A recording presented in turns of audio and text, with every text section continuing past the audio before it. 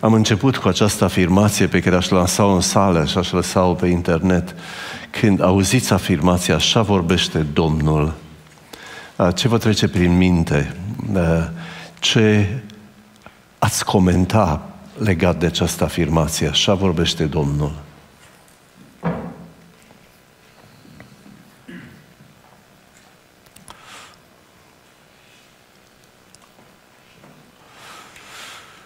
Well, nu prea sunt comentarii sau...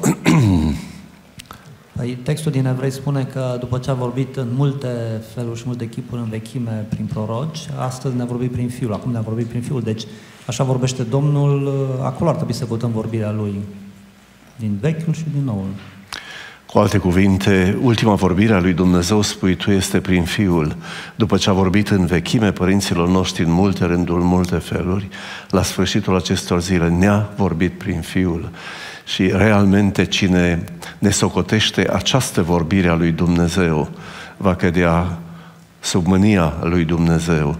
Și ai dreptate, dar în zilele noastre, eu cred că, mai ales că reprezentăm aici oameni veniți din diverse denominații și din diverse experiențe religioase, eu nu cred că este străin de această afirmație și am bătut lumea asta în lung și în lat și am umblat prin multe biserici și am auzit de multe ori lucrul acesta, mai ales în orele de rugăciune uh, publică și cu toată biserica, când cineva se ridică, zice, așa vorbește Domnul. Dar să presupunem că o astfel de afirmație este adevărată câtă autoritate poartă tot ceea ce urmează după o astfel de afirmație. Marius, mm, hai că nici tu nu ești străin de lucrurile astea. Cum să văd autoritatea a ceea ce urmează după o astfel de afirmație? Așa vorbește Domnul. Mm. Cine spune asta, chiar uh, aștepți ca acele cuvinte o spun la modul general, acum nu intrăm în spețe, să vorbească cuvintele lui Dumnezeu, dacă își are curajul în partea Domnului să spună acele cuvinte. Dar dacă, dacă este adevărat și realmente um, în spatele acestei expresii, care este o introducere profetică, este o expresie pe care profeții o foloseau, legitimându-se ca trimișa lui Dumnezeu, imaginați-vă că dacă e adevărat că Domnul vorbește gradul de autoritate a tot ceea ce urmează trebuie să fie autoritatea lui Dumnezeu, autoritatea lui finală. Și mă întreb de multe ori ce diferență să fie între ce spune Isaia, ce spune Ioan, ce spune Ieremia, ce spune Ezechiel, ce spune Pavel și ce spune cel care astăzi îndrăznește să spună așa vorbește Domnul. Eu nu știu și nu pot să cred că Dumnezeu vorbește în grade diferite de autoritate. Cu alte cuvinte, autoritatea mea, dacă îndrăznesc să spun așa, vorbește Domnul, e mai puțin decât autoritatea lui Isaia. Dragii mei, tot ce spune Domnul ține de Domnul. Da? Tot ce spune Domnul ține de Domnul. Și în seara asta aș vrea să vorbim un pic despre profeția, profet și profeție în 1 Samuel. Deci aș rămâne în cartea în care suntem. Și cred că trebuie strânsă ceva șuruburi aici, Marius, data viitoare. Dar asta este tema pe care o avem în seara aceasta. Și mă întorc înapoi în capitolul 2 și aveți tablourile din capitolul 2. Sunt fiii lui Eli, pe urmă este prezentat Samuel, este Eli și fiii săi își mustră fii, după care din nou este Samuel și ultimul tablou ne interesează, omul lui Dumnezeu, foarte interesant, omul lui Dumnezeu. Dacă este omul lui Dumnezeu, înseamnă că Dumnezeu poate vorbi prin el, Dumnezeu îi revelează adevărurile lui și el vine cu autoritatea lui Dumnezeu. Și omul lui Dumnezeu, din versetele 27 la 36, se prezintă înaintea lui Eli, trimis de Domnul și rostește o prorocie. Rostește o prorocie. Și dacă vă uitați doar la primul verset, versetul 27, un om al lui Dumnezeu a venit lui Eli, lui, la Eli și a zis, ce a zis? Așa, Așa vorbește, vorbește Domnul. Observați, spuneți la oaltă cele două expresii, omul lui Dumnezeu și vorbirea lui Dumnezeu prin el. Dacă este cu adevărat omul lui Dumnezeu, fraza în gura lui este adevărată. Da? Fraza este adevărată. Și textul continuă cu toată profeția pe care omul lui Dumnezeu, vorbind din partea lui Dumnezeu, o duce în urechile lui Eli în nădejdea că va face ceva cu mesajul pe care Dumnezeu îl transmite. Dar să trecem mai întâi prin text și în primul rând îl vedem pe omul lui Dumnezeu legându-se de desfășurarea planului lui Dumnezeu. Dacă vine omul lui Dumnezeu, nu poate vorbi în afara planurilor lui Dumnezeu. Și uitați-vă la primele versete. Mhm. Nu m-am descoperit eu casei tatălui tău când era în Egipt, în casa lui Faraon? Eu l-am ales dintre toate semințiile lui Israel ca să fie în slujba mea, în preoție, ca să se suie la altarul meu, să ardă tămâia și să poarte efodul înaintea mea. Și am dat casei tatălui tău toate jertfele mistuite de foc și aduse de copiii lui Israel. Deci, în primul rând, își ancorează mesajul în planul lui Dumnezeu.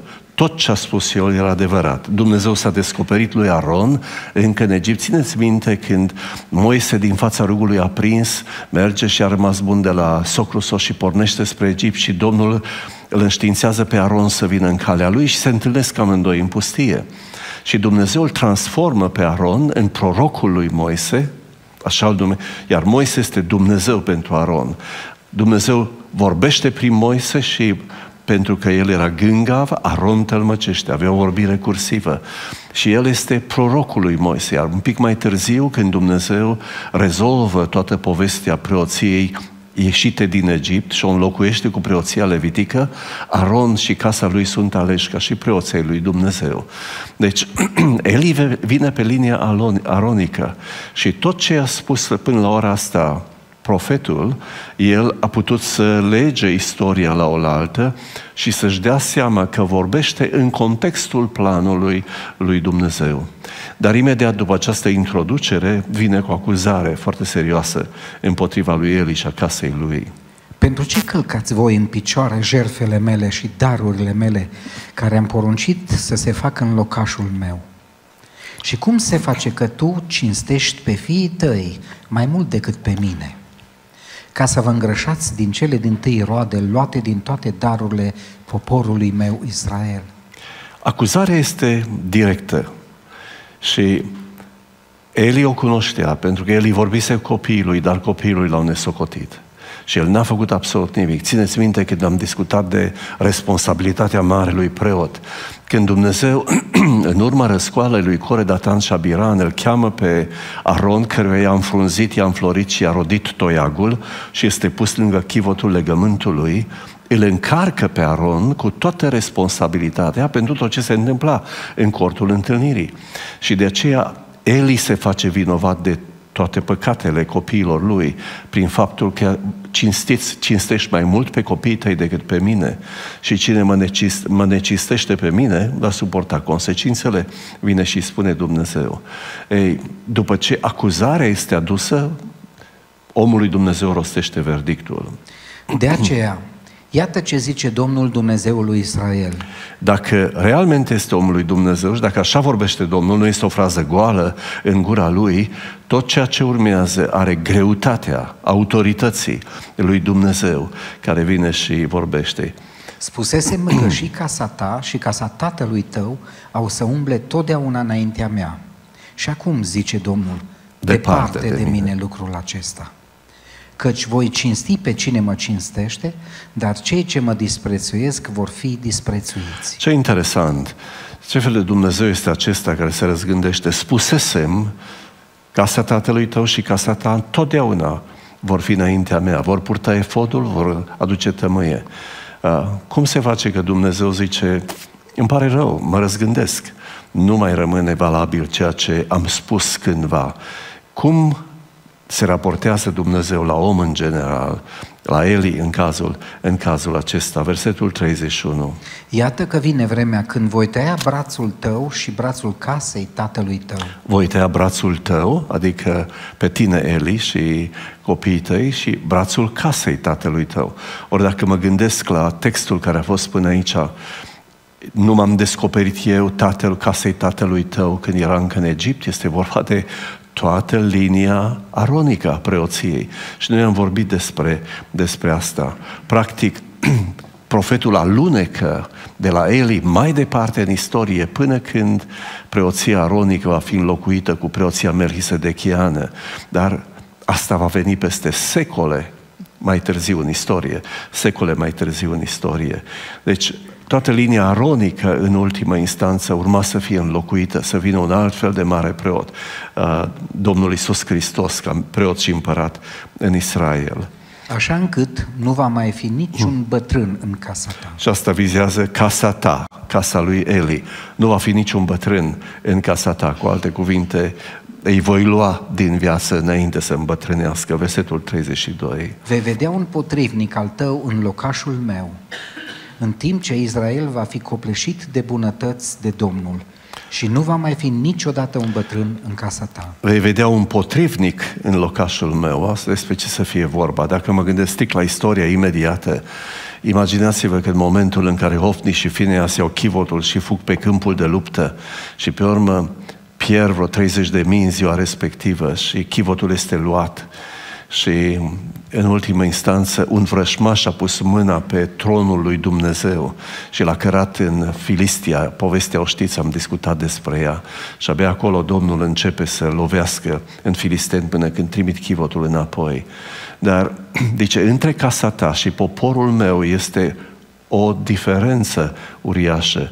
În timp ce vei vedea un potrivnic în locașul meu, Israel, spune textul, Israel uh, va fi binecuvântat de Domnul. Uh, Dumnezeu a făcut o promisiune lui Avram. Toate familiile pământului vor fi binecuvântate în tine. Și a jurat pe muntele Moria, spune, în sămânța ta. Și Pavel spune, sămânța nu zice semințelor, ci sămânța la singular care este Hristosul. Din pricina acestui, acestei alegeri și a jurământului lui Dumnezeu, este o foarte mare diferență, de pildă, între casa lui Eli și poporul lui Dumnezeu. Dumnezeu nu putea să lase poporul să coboare de pe scenă până când nu-și va împlini lucrarea prin ei. Ei au fost aleși să fie un vas pentru o trebuințare de cinste ca să-L aducă pe Mesia pe scena istoriei. Și lucrul acesta este important. Versetul 32. Vei vedea un potrivnic al tău în locașul. În timp ce poporul meu, observați diferența dintre cele uh, două situații. Am făcut referire la capitolul 12, 22 și dați-mi voie să citesc doar Roman, capitolul 9, versetele 45. Ei, și aici este vorba de toți descendenții lui Avram, sunt israeliți, au înfierea, slava, legămintele, darea legii, slujba dumnezească, patriarhii, făgăduințele patriarhii și din ei și după trup și Hristosul care este Dumnezeu binecuvântat în veci. Din pricina jurământului lui Dumnezeu și a promisiunii lui, Israel a fost ținut pe scenă, indiferent ce s-a întâmplat cu împărații, cu preoții, a fost ținut pe scenă ca Dumnezeu să-și împlinească jurământul făcut. Hristosul să descindă din ei, să fie adus pe scena istoriei și Dumnezeu să-și poată continua lucrarea și planurile prin ei. Versetul 33. Voi lăsa să rămână la altarul meu numai unul dintre ai tăi ca să ți se topească ochii de durere. Hofniț și Fineas mor, vine vestea, uh, cade pe spate și Eli, moare și el, uh, soția lui Hofni se încovoaie, era în durerile nașterii și naște pe Icabod, nu mai este slavă. Și ea probabil moare în timpul nașterii și rămâne un singur prunc, vă lăsa pe unul singur din casa ta, spune textul și și să ți se întristeze sufletul, dar toți ceilalți din casa ta vor muri în floarea vârstei. În floarea vârstei. A venit ancorarea în istorie, este prima figură profetică din cartea Samuel și stăm puțin lângă el ca să discutăm despre profeție și cum anume verifici, cum anume legitimezi sau validezi o vorbire, dacă este sau nu de la Dumnezeu. Pretențiile pot fi multe. Dar dacă este de la Dumnezeu, dragii mei, trebuie să existe criteriile de validare pe care Scriptura, Scriptura ni le aduce. După ancorarea în istorie vine acuzarea și după acuzare, dragii mei, vine verdictul și după verdict vine semnul. Un profet, de obicei, ca să se legitimeze, vine și îți oferă un semn. Și ascultați semnul pe care îl aduce omului Dumnezeu. Și iată semnul celor ce se vor întâmpla, celor doi fii ai tăi, Hofni și Finias. Amândoi vor muri, Vor muri într-o singură zi. singură zi. Observați, toate verbele sunt la viitor. Celor ce se vor întâmpla, Hofni și Fineas, vor muri în aceea zi. Dar acum, ca să legitimezi profeția dacă vine de la Dumnezeu, trebuie să aștepți împlinirea semnului. Nu totdeauna ai harul să aștepți împlinirea semnelor. Da? În cazul acesta, de pildă, uh, pentru Eli, împlinirea semnelor a fost o tragedie. Hofni și Fineas vor muri într-o singură zi. Omul lui Dumnezeu nu, i- nu i-a spus că vei muri și tu împreună cu ei. Da? El a căzut pe spate, pentru că era pe un scaun înalt la poartă, așteptând vești. Inima îi tremura din pricina chivotului și când a auzit vestea, a căzut pe spate și a frânt gâtul și a murit și el. Semnul este destul de clar și inconfundabil, da? Inconfundabil. Hofni și Fineas vor muri într-o singură zi. Acum, dacă ar trăi în vremurile noastre, ar fi putut avea un accident de mașină să moară într-o singură zi. Dar acolo erau, și știți istoria din capitolul 4, când uh, Hofni și Fineas preoții duc chivotul pe câmpul de luptă și pe urmă sunt tăiați și ei și chivotul este luat de către filisteni. Dar observați, un profet al Domnului poate să-ți spună un semn legat, o realitate viitoare care se împlinească. Și întrebarea este, oare să fie modul de validare al vorbirii lui Dumnezeu?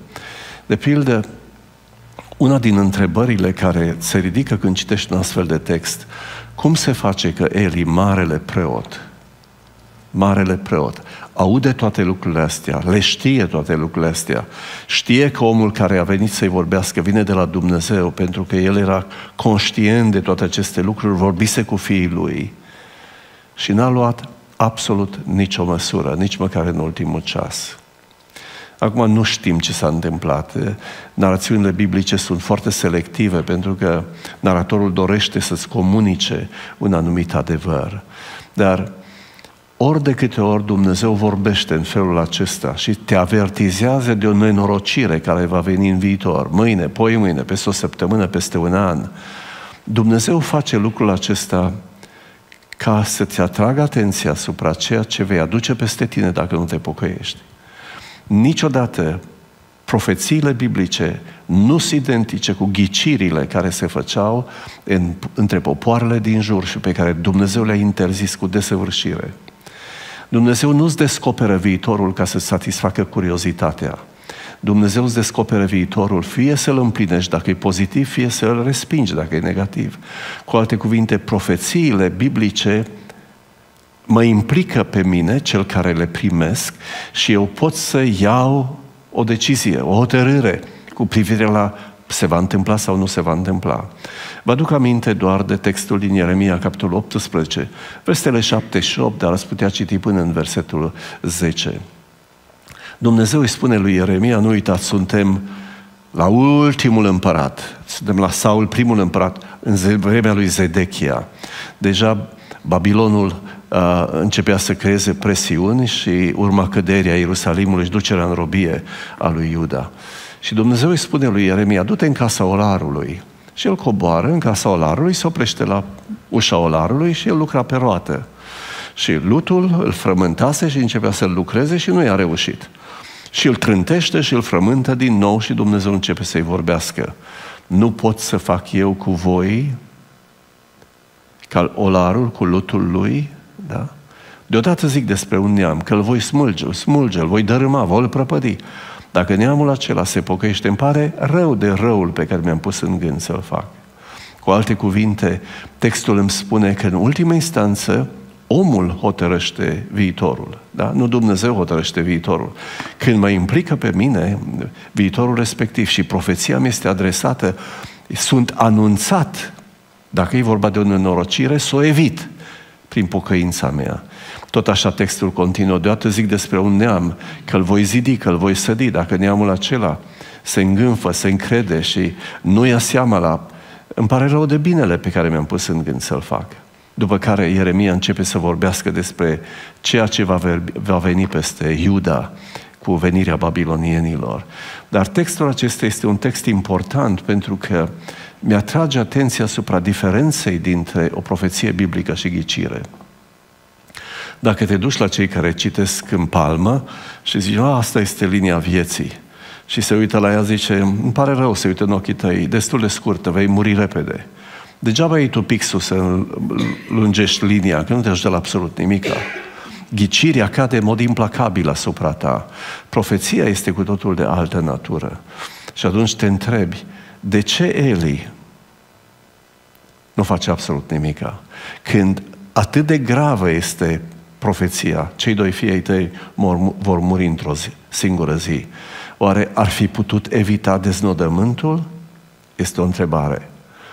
Și cu siguranță da, dacă s-ar fi pocăit în lumina a tot ce ne spune, ce ne spune Scriptura. Dar ca să vezi și cealaltă fața monezii, ar trebui să trecem în capitolul următor. Eli nu zice nimica, nu face absolut nimica.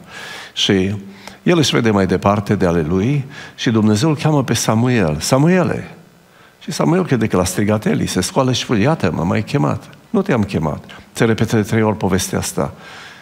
Și a treia oară, Eli își dă seama, Domnul cheamă pe copil.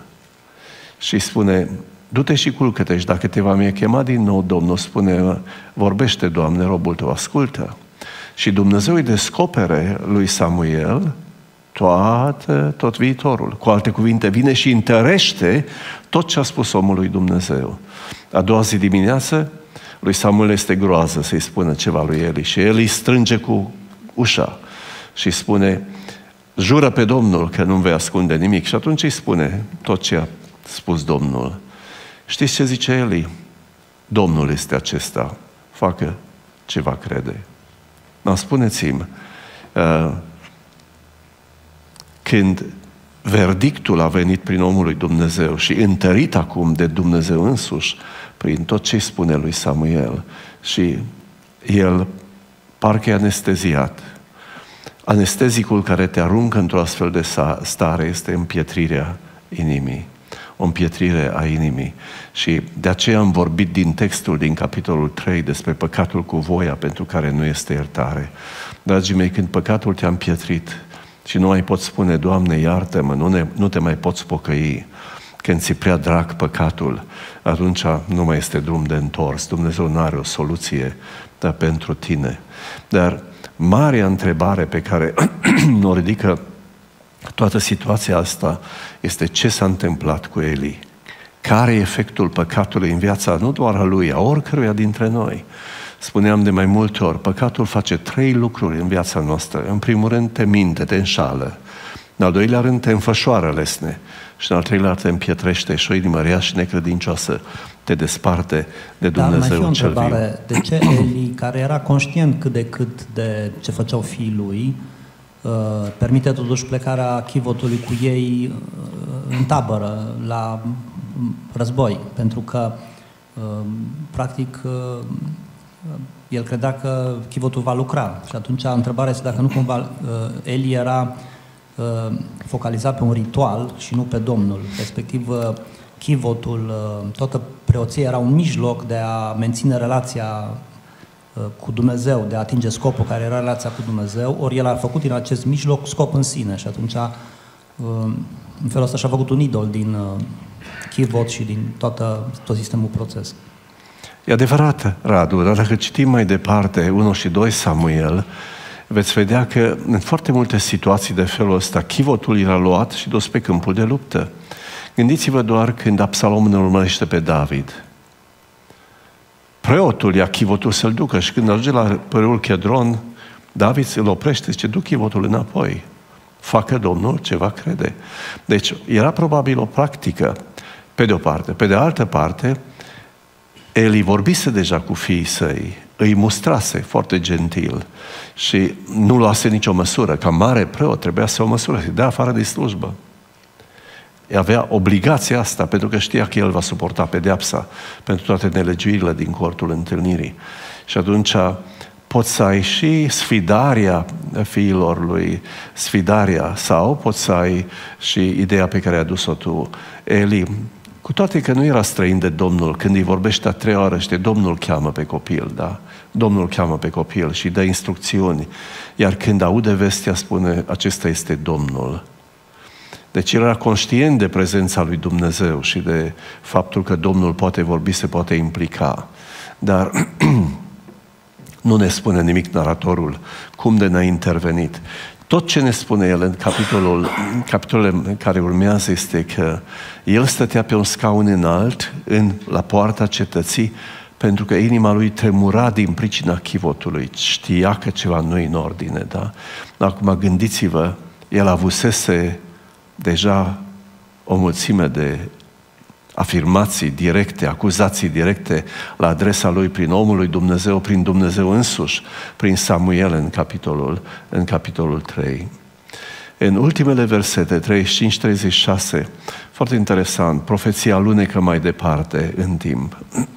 Eu îmi voi pune un preot credincios care va lucra după inima mea și după sufletul meu. Deci, voi tăia brațul casei tale. Cu alte cuvinte, Eli vei ieși din slujbă și tu și fiii tăi nu va fi niciun bătrân în casa ta. Și voi pune un preot credincios în slujba mea. Îi voi zidi o casă stătătoare și va umbla totdeauna înaintea unsului meu. Observați, totdeauna înaintea unsului. Dar cine să fie unsul? Unsul era împăratul, probabil, preotul era înaintea unsului și dacă mă gândesc, deși Dumnezeu vorbise despre sfârșitul liniei aronice, dar până să împlinească lucrul acesta, urmau să treacă secole, aproape un mileniu, aproape un mileniu până la venirea Domnului Isus Hristos și până atunci preoția a trebuit să rămână în picioare unșii Domnului, împărații, urmau să se perinde pe scaunul de domnia lui Israel și apoi după ruperea regatului uh, în Iuda. Dar textul vorbește despre vremurile care vor veni. Dumnezeu va continua să lucreze prin poporul lui până când își vor împlini menirea în planul lui. Pentru un ban de argint și pentru bucate de pâine și va zice. Deci, unul din urmașii tăi va veni și va zice, pune-mă... Te rog în una din slujbele preoției ca să am o bucată de pâine să mănânc. Să mănânc. Mm-hmm. Așa vorbește Domnul. Acum, eu am auzit cu urechile mele, nu odată, afirmații de felul acesta, peste tot pe unde am umblat în lume. Și când te gândești la această formulă profetică, așa vorbește Domnul, am plecat de la ea la început. Dragii mei, dacă e adevărată, dacă omul lui Dumnezeu are în gură această afirmație, ca și versetul 27 din textul nostru, realmente el este doar purtătorul, portavoce al lui Dumnezeu. Deci dacă Domnul vorbește, El vorbește în autoritatea Lui ultimă. El nu vorbește în grade diferite de autoritate în autoritatea lui ultimă. Știți care e problema? E suficient să, răsco- să răsfoiești Vechiul Testament și să vezi o mulțime de proroci mincinoși. Cu alte cuvinte, o mulțime de oameni din poporul lui Dumnezeu care îndrăznesc să apeleze la formula aceasta, fără să fi fost trimiși de Domnul. Întrebarea este, domnule, cum alegi? Când zece oameni vin și zic, așa vorbește Domnul, cum alegi între ei care e din partea lui Dumnezeu și care nu. De care voce să ascult și care să o respingi, da? Cum alegi dintre toate acestea? Cum verificăm validitatea unei vorbiri inițiate de această formulă profetică? Așa vorbește Domnul. Cum validez lucrurile? Și ar trebui să găsim criteriile de validare în Biblie, dragii mei, nu părerile noastre, ele nu contează, ci mă interesează ce anume ne spune Biblia. Și aș apela la două texte. În primul rând aș lua două versete din Deuteronom, capitolul 28, eh, capitolul 18. În capitolul 18, Moise vorbește despre un proroc ca mine pe care le va ridica Domnul din mijlocul tău și voi pune cuvintele mele în gura lui și oricine nu va asculta de el, eu îi voi cere socoteală. Observați, el vorbește despre cineva căruia Dumnezeu îi pune cuvintele lui în gură și el când începe să vorbească, Domnul vorbește prin el. Dar acolo este vorba despre prorocul ca Moise, despre Domnul Isus Hristos. Radu tocmai citase textul din Evrei, capitolul 1, la sfârșitul acestor zile ne-a vorbit prin Fiul. Dar uitați-vă ce întrebări s-a ridicat imediat după această afirmare a profeției care, sau profetului care va veni. Versetele 21 și 22. Poate că vei zice în inima ta, cum vom cunoaște cuvântul pe care ni-l va spune Domnul? Este, este suficient ca cineva să îndrăznească, spune așa vorbește Domnul, ca tot ce urmează vine din partea Domnului? Nu. Dovadă sunt mulțimea de proroci mincinoși care au existat, există și vor exista în istorie. Și atunci și astăzi și în viitor, dragii mei, avem aceeași problemă. Aceeași întrebare se ridică, domnule, din toți ăștia care îndrăznesc să vorbească, cum vom ști că este Domnul cel care vorbește? Și vine și răspunsul în versetul 22. Când ceea ce va spune prorocul acela în numele Domnului nu va avea loc și nu se va întâmpla, va fi un cuvânt pe care nu l-a spus Domnul. Prorocul acela l-a spus din îndrăzneală, să n-ai teamă de el. Să n-ai teamă de el.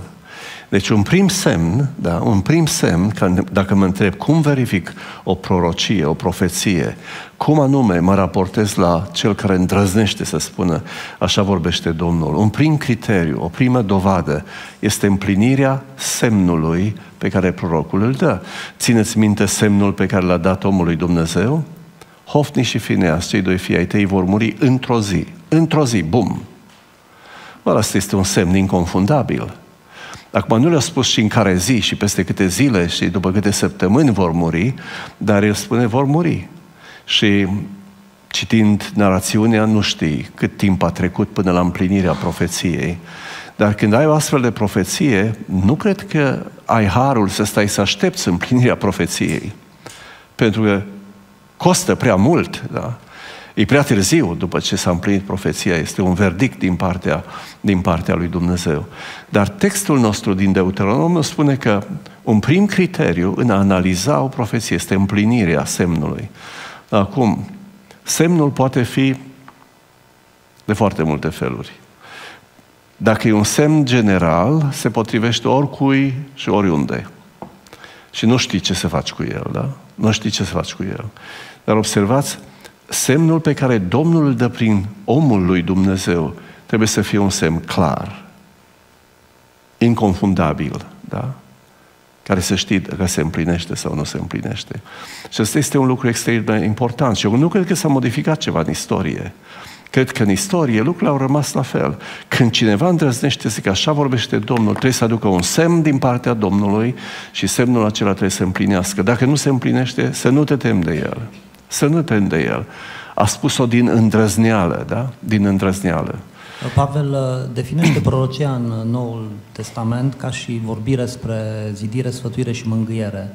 Dacă ne uităm la vorbirea prorocilor din Vechiul Testament, putem spune că și vorbirea lor era o vorbire spre zidire, sfătuire și mângâiere a poporului Dumnezeu să meargă într-o direcție sau într-o altă, să se ia o decizie sau alta. Și atunci ar fi un fel de element de uh, legătură între cele două prorociri, dar care ar fi corespondentul semnului sau uh, cum să înțelegem în Noul Testament uh, principiul pe care îl scoatem din, vechi, din procea Vechiului Testament. Dar eu cred că și astăzi, dacă Domnul vorbește despre ceva ce se va întâmpla în viitor, pozitiv sau negativ, cred că semnul pe care Dumnezeu îl dă e la fel de important și în Noul Testament ca în Vechiul Testament. Dar aș rămâne în Vechiul Testament, Radu, pentru o clipă, ca să încercăm să vedem dacă există și un alt criteriu. Dar un prim criteriu sau prima dovadă a faptului că Domnul a vorbit este împlinirea semnului care ți-a fost dat. Dacă semnul este clar, inconfundabil, dacă poți judeca împlinirea sau neîmplinirea, neîmplinirea lui. Uitați-vă la semnul, aduceți-vă aminte de semnul și iată semnul ce se vor, semnul celor ce se vor întâmpla celor doi fii ai tăi, Hofni și Fineas, amândoi vor muri într-o zi. Foarte clar, da? Iată semnul că sunt trimis de Domnul, că este cuvântul Domnului, Hofni și Fineas vor muri amândoi într-o zi. Nu i-a spus când, nu i-a spus cum. I-a spus, asta se va întâmpla, asta se va întâmpla. Dar acum, dați-mi voie să iau un alt proroc, tot de pe paginile Scripturii, pe Samuel, da? Tot Israelul, de la Dan până la Berșeba a știut că Domnul a pus pe Samuel prorocul lui și că Domnul vorbea prin Samuel, ne spune textul. Dar uitați-vă la semnele pe care acest proroc le dă lui Saul, de pildă. Și aici nu e vorba despre o pedeapsă, ci este vorba de o încredințare a lui Saul, că el n-a vorbit de la sine, Domnul l-a trimis, Domnul l-a pus să lungă ca împărat, Domnul l alege, l alege ca împărat. Dar uitați-vă cât de precise sunt semnele. Și astfel de semne n-ai cum să le negociezi, n-ai cum să le interpretezi. Semnele acestea ori se împlinesc, ori nu se împlinesc. Mm. Astăzi, după ce mă vei părăsi, vei găsi doi oameni la mormântul Rahelei în hotarul lui Beniamin, la Țelțah. Ei îți vor zice, măgărițele pe care te-ai dus să le cauți s-au găsit. Și iată că tatăl tău nu se mai gândește la măgărițe, ci este îngrijorat de voi și zice, ce să fac pentru fiul meu? De acolo vei merge mai departe? Deci, eu sunt pe drum și voi ajunge la mormântul Rahelei. Cineva vede cum din două părți complet distincte, două grupuri de oameni vin se întâlnesc în, la un punct fix. După care știe exact cuvintele pe care oamenii aceia le vor rosti. Îți vor spune, măgărițele s-au găsit. Tatăl tău este îngrijorat pentru voi și redau până și cuvintele lui Kish, tatălui lui Saul. Wow! Um, n-ai cum să interpretezi. Ori se împlinesc, ori nu se împlinesc. Dacă am ajuns la mormântul Rahelei și nu-i nimeni și trec mai departe și nu s-a întâmplat, am un semn de întrebare lângă sau în dreptul cuvintelor prorocului, în cazul acesta Samuel, versetul 3. De acolo? De acolo vei merge mai departe și vei ajunge la stejarul din Tabor. Un alt vei, punct fix, da? Unde vei fi întâmpinat de trei oameni, suindu-se la Dumnezeu în Betel și ducând unul trei iezi, altul trei turte de pâine, iar altul, altul un burduf cu vin. Ei te vor întreba de sănătate și îți vor da două pâini pe care le vei lua din mâna lor. Spuneți-mi, poți negocia un astfel de semn? Nu. Sau se împlinește sau nu se împlinește. Trei oameni, trei turte, îți vor da două turte, te vor întreba de sănătate. O? De acolo? După aceea, vei ajunge la Ghibea, Elohim, unde se află garnizoana filistenilor.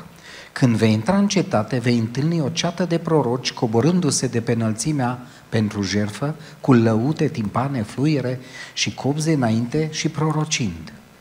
Duhul Domnului va veni peste tine, vei proroci cu ei și vei fi prefăcut într-un alt om. Când ți se vor împlini semnele acestea, Fă ce vei găsi de făcut, căci Dumnezeu este cu tine. De îndată ce Saul a întors spatele ca să se despartă de Samuel, Dumnezeu i-a dat o altă inimă. Și toate semnele acestea s-au împlinit în aceeași, în aceeași zi. zi.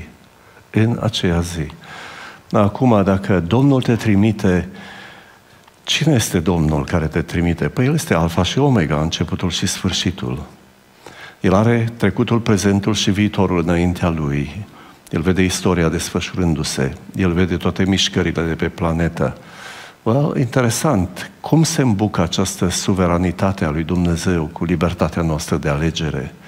Dar observați în cazul acesta, toate semnele pe care Samuel le dă lui Saul se împlinesc ca ceasul în aceea zi.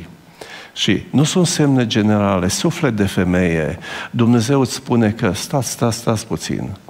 Dumnezeu știe cum mă cheamă, da? Știe cum mă cheamă, cât e ceasul, ce vârstă am, toate le știe. Da? Și atunci El poate să-mi dea lucruri foarte clare legat de mine, dacă despre mine este vorba. Lucruri foarte clare. Așa vorbește Domnul. Well, uneori da, alteori nu. Uneori Domnul este cel care vorbește, alteori textul însuși ne spune a vorbit din îndrăzneală, a vorbit din îndrăzneală, să nu te tem de El, dacă nu se împlinesc lucrurile respective, să nu te tem de El.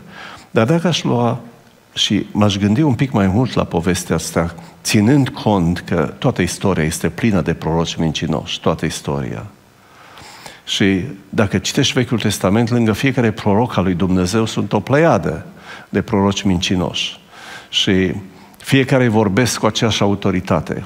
Când Ieremia vine cu un juc de lemn Hanania, în mijlocul tuturor, zice, nu, în doi ani de zile, Domnul a zis că vom, ne vom întoarce sau se vor întoarce vasele Domnului înapoi în, în Ierusalim.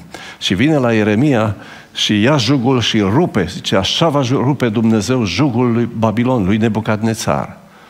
Ieremia pleacă și Dumnezeu îl bate pe urmă, zice, du-te înapoi.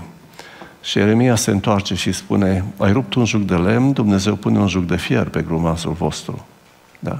Un juc de fier. Dar nimeni nu l-a crezut, pentru că mulțimea prorocilor mincinoși creau un cor întreg, dragii mei, urechile lui Zedechia, așa mai marilor, um, lui Israel, un cor întreg. Și de aceea, mulțimea prorocilor mincinoși zăpăcea poporul. Zăpăcea poporul de la, începând de la, de la împărat. Cum verificăm dacă realmente Domnul a vorbit sau nu. Cum verificăm lucrul acesta? Am spus o primă dovadă sau un prim criteriu este împlinirea semnului. Dar semnul trebuie să fie clar, trebuie să fie precis și inconfundabil. Și inconfundabil. Cel puțin în textul nostru, semnele care sunt date, n-ai cum să le discuți în niciun fel, sunt clare, precise, inconfundabile și de aceea pot fi foarte ușor verificate, se împlinesc sau nu se împlinesc. Pentru el a fost un pic cam târziu. Da? În schimb, pentru Saul, el a fost încurajat de împlinirea în tocmai a semnelor pe care prorocul, pe care Samuel uh, i le-a spus. Dați-mi voi să iau un alt text, ca să creăm confuzia un pic și mai mare. Textul din capitolul 13 din Deuteronom. Noi tocmai am trecut prin Deuteronom și nu vă sunt străine textele. Capitolul 13, primele cinci versete. Dacă se va ridica în mijlocul tău un proroc sau un visător de vise care îți va vesti un semn sau o minune, îți va vesti un semn sau o minune, se va ridica un proroc sau un visător, e bun, e rău, e mincinos, e adevărat, Ma, nu știu, dar... Și se va împlini semnul sau minunea aceea de care ți-a vorbit el zicând, haidem după alți Dumnezei, Dumnezei pe care tu, nu, pe care tu nu-i cunoști și să le slujim. Să n-ascultați cuvintele acelui proroc sau visător de vise, căci Domnul Dumnezeul vostru vă pune la încercare, ca să știe dacă iubiți pe Domnul Dumnezeul vostru din toată inima voastră și din tot sufletul vostru. Wow! Voi să mergeți după Domnul Dumnezeul vostru și de El să vă temeți. Poruncile Lui să le păziți, de glasul Lui să ascultați, lui să-i slujiți și de el să vă lipiți. Prorocul sau visătorul acela de vise să fie pedepsit cu moartea, căci a vorbit de răzvrătire împotriva Domnului, Dumnezeului vostru, care v-a scos din țara Egiptului și v-a izbăvit din casa robiei. Și? Și a voit să te abată de la calea în care ți-a poruncit Domnul Dumnezeul tău să umbli, să scoți astfel răul din mijlocul tău. Acum puneți voi la oaltă cele două texte. Da? Se scoală un visător sau un proroc, îți dă un semn sau o minune și semnul și minunea se împline, se întâmplă. Și Dumnezeu spune, omorâți-l cu pietre. Cum rezolv povestea asta? Da? Cum practic, practic, uh, Dumnezeu le spune că cuvântul prorocului se verifică prin cuvântul Domnului. Cu alte cuvinte, verificarea unei prorocii prin semnul care mi se dă nu e suficient, nu-i așa? Nici măcar împlinirea semnului, chiar dacă se împlinește în tocmai, nu este criteriul ultim de verificare dacă o prorocie este sau nu din partea Domnului.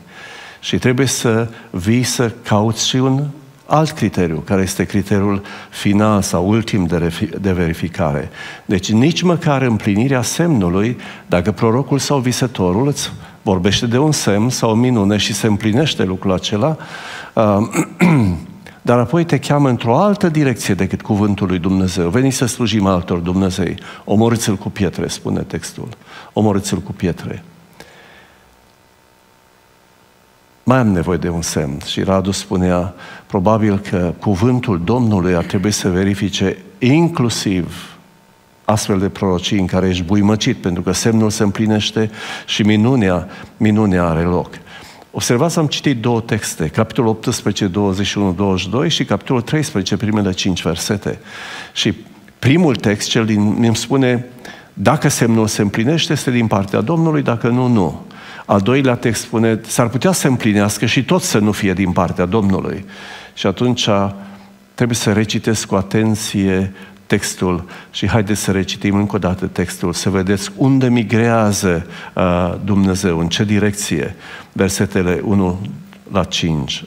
Dacă se va ridica în mijlocul tău un proroc sau un visător de vise care îți va vesti un semn sau o minune și se va împlini semnul sau Observa, se minunea va aceea, împlini semnul sau minunea aceea, de care ți-a vorbit el zicând, haidem după alți Dumnezei, Dumnezei pe care tu nu-i cunoști și să le slujim.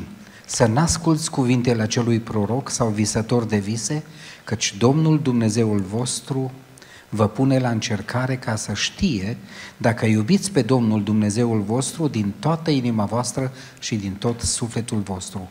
Voi să mergeți după Domnul Dumnezeul vostru și de El să vă temeți. și textul continuă, Poruncile poruncile, Lui să le păziți, de glasul Lui să ascultați, Lui să-i slujiți și de El să vă lipiți.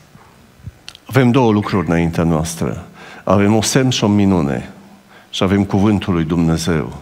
Spuneți-mi um, în ce ordine trebuie să așez lucrurile. Cine capătă prioritate? Cui trebuie să dau? Semnului minunii sau cuvântul lui Dumnezeu? Bă, dar vă întreb, ce se întâmplă în zilele noastre când nu cunoaștem cuvântul lui Dumnezeu? Spuneți-mi, pe ce vom miza, pe ce vom marșa? nu e așa? Pe semne și minuni? Dar cum e aia? Uh, nu vine din partea Domnului, semnul se împlinește, minunea are loc. Cum explic toată povestea asta? În primul rând, textul îmi spune cuvântul lui Dumnezeu trebuie să aibă prioritate. Cuvântul lui Dumnezeu trebuie cunoscut, căile Domnului trebuie cunoscute. Toate celelalte se subordonează cuvântului, cuvântului lui Dumnezeu. Dacă mă gândesc doar la întreaga Scriptură, văd că și duhurile necurate pot face minuni și pot oferi semne care să se împlinească, nu? Dacă n-ar exista o lume spirituală și dacă n-ar exista această posibilitate, poate că ar fi fost suficient primul semn. Dacă se împlinește de la Domnul, dacă nu, nu de la Domnul. Dar pentru că există o lume spirituală care poate interveni în lumea noastră, da? poate interveni în lumea noastră, poate injecta într-un fel în realitatea în care trăim o informație, o realitate, poate modifica lucruri, lucrurile se complică. Și de aceea cred eu că semnul sau minunea nu sunt suficiente pentru a valida, chiar dacă se împlinesc pentru a valida o prorocie, dacă vine sau nu de la Dumnezeu. Aș putea citi mai multe texte, dar aș lua doar textul din 2 Tesaloniceni. Și aici istoria leargă într-un fel spre venirea Domnului și despre asta este vorba. Capitolul 2, începând cu versetul 1. Cât privește venirea Domnului nostru Isus Hristos și strângerea noastră la oaltă cu El, vă rugăm, fraților, să nu vă lăsați clătinați așa de repede în mintea voastră și să nu vă tulburați de vreun duh, nici de vreo vorbă, nici de vreo epistolă ca venind de la noi, ca și cum ziua Domnului ar fi și venit chiar. Nimeni să nu vă amăgească în vreun chip, căci nu va veni înainte ca să fi venit lepădarea de credință și de a se descoperi omul fără de legii, fiul pier- pierzării. Notați, vă rog, înainte de a fi venit lepădarea de credință, ori credința se ancorează într-o informație, dacă informația e drăcească, credința e drăcească, e moartă, e zadarnică și atunci este o vreme în care lepădarea de credință trebuie asociată cu neînțelegerea, necunoașterea cuvântului lui Dumnezeu. Ori necunoașterea cuvântului lui Dumnezeu, dacă este asociată cu semne și minuni care se împlinesc, devine catastrofale pentru perioada respectivă sau pentru oricare dintre noi. Imaginați-vă că lucrul acesta este adevărat în zilele noastre. Bisericile migrează în, gen, în general spre feel good, cum să te simți. Copiii noștri hotărăsc la ce biserică mergem, spuneam aseară. Acolo unde îi joc și voie bună, unde ne simțim bine, unde toate ori în ultimă instanță, în vreme de soare, astea sunt bune, probabil. Ce se întâmplă când se strânge șurubul și când ne apropiem de vremuri ca și acestea? în, în lepădarea de credință, pentru că nu mai are temelie, nu mai are din ce să crească credința, solul s-a pângărit, învățătura s-a subțiat. Ce se întâmplă cu noi? Versetul 4. Mm. Potrivnicul care se înalță mai presus de tot ce se numește Dumnezeu sau de ce este vrednic de închinare, așa că se, așa, se va așeza în templul lui Dumnezeu dându-se drept Dumnezeu. Nu vă aduceți aminte cum vă spuneam lucrurile acestea când eram încă la voi? Și acum știți bine, cel ce îi oprește ca să nu se descopere decât la vremea, vremea lui. Vremea lui. Căci taina fără de legii a și început să lucreze. Trebuie numai ca cel ce oprește acum să fie luat din drumul ei. Și atunci se va arăta cel nelegiuit, pe care Domnul Isus îl va nimici cu suflarea gurii, gurii sale și îi va prăpădi cu arătarea venirii sale. Arătarea lui se va face prin puterea satanei, cu tot felul de minuni și de semne și puteri mincinoase. Arătarea lui se va face cu puterea satanei, cu tot felul de minuni și semne și puteri mincinoase. Imaginați-vă ce se întâmplă când vezi minunile, semnele împlinindu-se, când cineva le rostește. Spuneți-mi, câți din zilele noastre am rămâne în picioare în fața unei astfel de situații? Cum te descurci? Citiți cartea Apocalipsa. Singurii care fac minuni sunt duhurile dracilor. Singurii care fac minuni. Biserica suferă, dragii mei, și plătește cu viața. Ce faci într-o astfel de situație dacă nu cunoști cuvântul lui Dumnezeu? Dacă nu cunoști poruncile lui Dumnezeu? Dacă n-ai pus timp deoparte să înțelegi căile Domnului, inima se rătăcește și Dumnezeu se descustă de noi. Versetul 10. Și cu toate amăgirile, nelegiuirii pentru cei ce sunt pe calea pierzării. Sunt pe calea pierzării. De ce? Pentru, pentru că, că n-au primit dragostea adevărului ca să fie mântuiți. N-au primit dragostea adevărului ca să fie mântuiți. Da? Credința vine în urma auzirii, auzirea va veni în adevăr, prin cuvântul lui Hristos. Dacă eu n-am crezut ce mi-a spus Domnul Isus, omul nu va trăi numai cu pâine, ci cu orice cuvânt care este din gura lui Dumnezeu. Dacă nu mă străduiesc să cunosc căile Domnului, să cunosc, să-mi fac zilnic lectura Scripturii, ca Duhul lui Dumnezeu să-mi descopere adevărurile Lui. Imaginați-vă cât de vulnerabil sunt în fața a tot ceea ce există și va veni peste noi în uh, lumea în care trăim. Versetele 11. Din această pricină Dumnezeu le trimite o lucrare de rătăcire, ca să creadă o minciună. Da? Pentru ca toți cei ce n-au crezut adevărul, ce au găsit plăcere în nelegiuire, să fie osândiți. N-au crezut adevărul, ce au găsit plăcere în nelegiuire. Cu alte cuvinte, bea suflete și mănâncă, asta este viața, sub soare, nu mai există nimeni, nimic dincolo de mormânt și de viermi, aici este totul și atunci un light motiv al cărții Eclesiastul nu este altă fericire pentru om decât să mănânce, să-și bea, să-și veselească sufletul cu ceea ce e, are din agoniseala lui. Al doilea light motiv al cărții, care funcționează în două feluri. Poți să mănânci, să bei, pentru că băi, trebuie să o faci, ai un trup, dar o poți face în liniște, în frică de Dumnezeu. Sau ca să-ți înneci, într-un fel, deznădejdea și amărăciunea, cum o găsești în cartea Eclesiastul, în mâncare și băutură. Dar atunci ce te faci când vin lucrurile astea și când se îngroașă gluma și omul fără de lege vine cu toate minunile, semnele și puterile mincinoase? Versetul 13. Noi însă Frați prea iubiți de Domnul, trebuie să mulțumim totdeauna lui Dumnezeu pentru voi, căci de la început Dumnezeu v-a ales pentru mântuire. Foarte fain text pentru predestinație. Dumnezeu v-a ales de la început pentru mântuire. Problema e lor, nu e a noastră, vom zice unii. Dar uitați-vă cum se termină versetul. În sfințirea Duhului și... Credința adevărului. În credința adevărului. În sfințirea Duhului ce are Duhul ca să mă sfințească? Sabia Duhului, Cuvântul lui Dumnezeu, comunitatea Duhului, da? Credința adevărului. Pentru că n-au crezut adevărul, n-au iubit adevărul lui Dumnezeu, nu și-au făcut timp pentru Cuvântul lui Dumnezeu. În momentul în care mizez doar pe primul semn, împlinirea minunilor, împlinirea semnelor,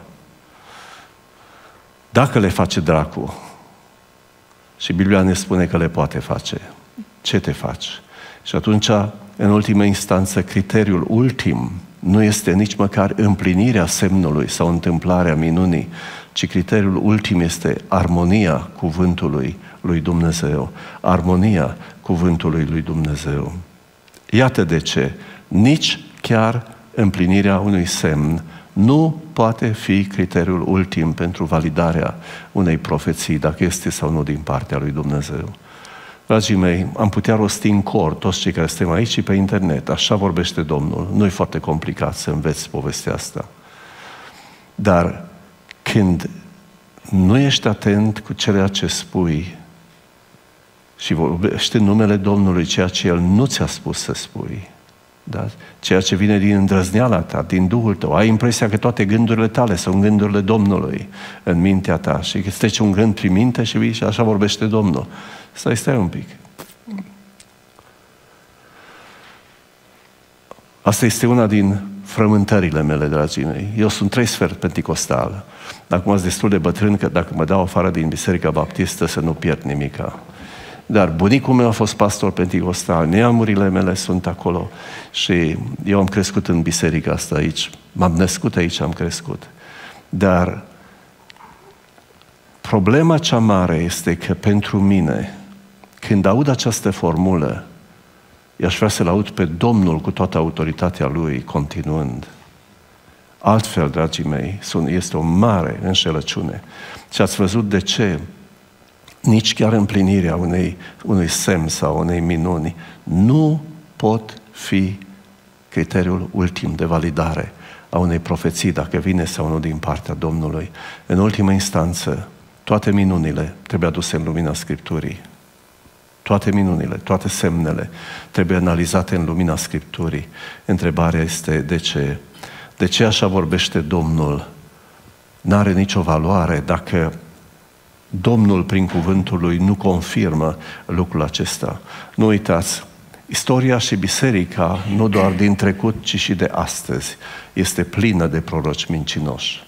Plină, dragii mei, de oameni care îndrăznesc. Eram în Melbourne, v-am mai spus, într-o biserică penticostală și era o prorociță de prin Cluj.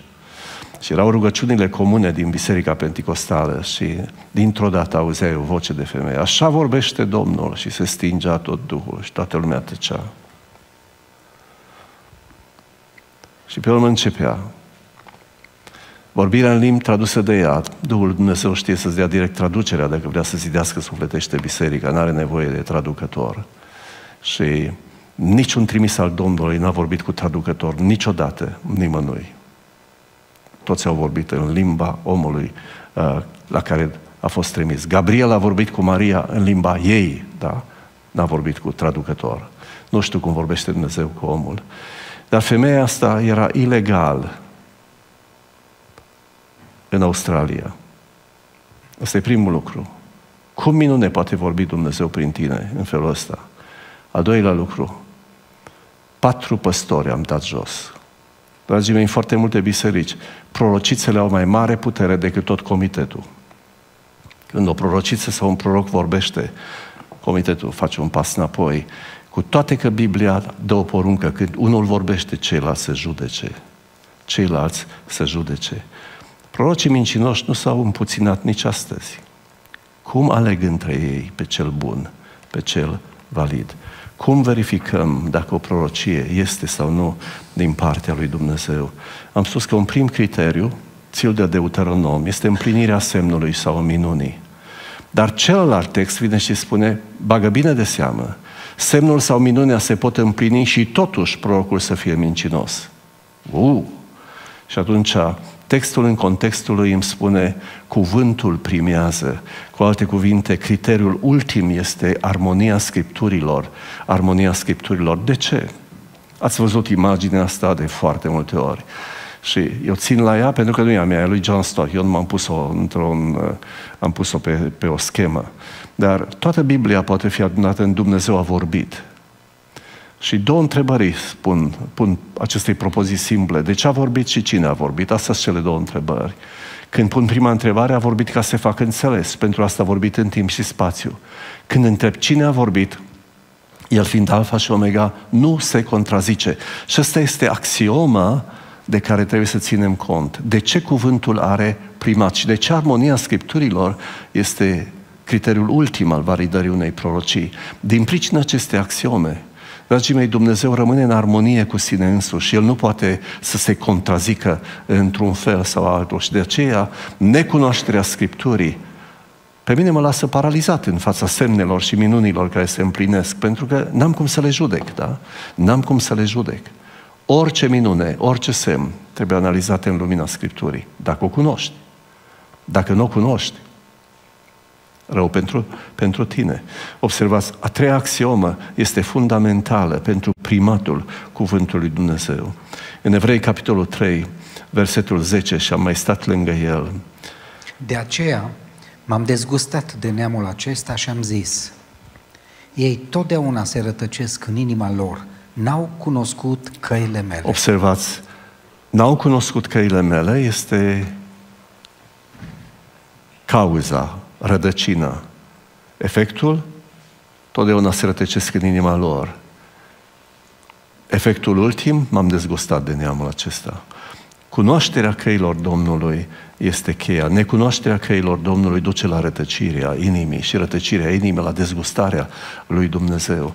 Și atunci uh, primatul cuvântului lui Dumnezeu este esențial. Esențial. Dragii mei, trăim vremuri în care bisericile caută tot felul de lucruri în jurul ce se adune. Unii au trupe de închinare extraordinare, da? Zile Hillsong, zile, zicile cum vreți. Sunt biserici care puiază în funcție de uh, orchestra sinfonică pe care reușesc să o îngropeze. Și în jurul unei orchestre sinfonice creează toate nu e un lucru rău și mie mi-ar plăcea să avem o orchestră sinfonică în biserica noastră mai mult decât trupe de închinare, sorry, Enoch. Dar mi-ar plăcea lucrul acesta, din când în când să aud un cor, patru voci echilibrate și să mă bucur de armonia, um, armonia respectivă.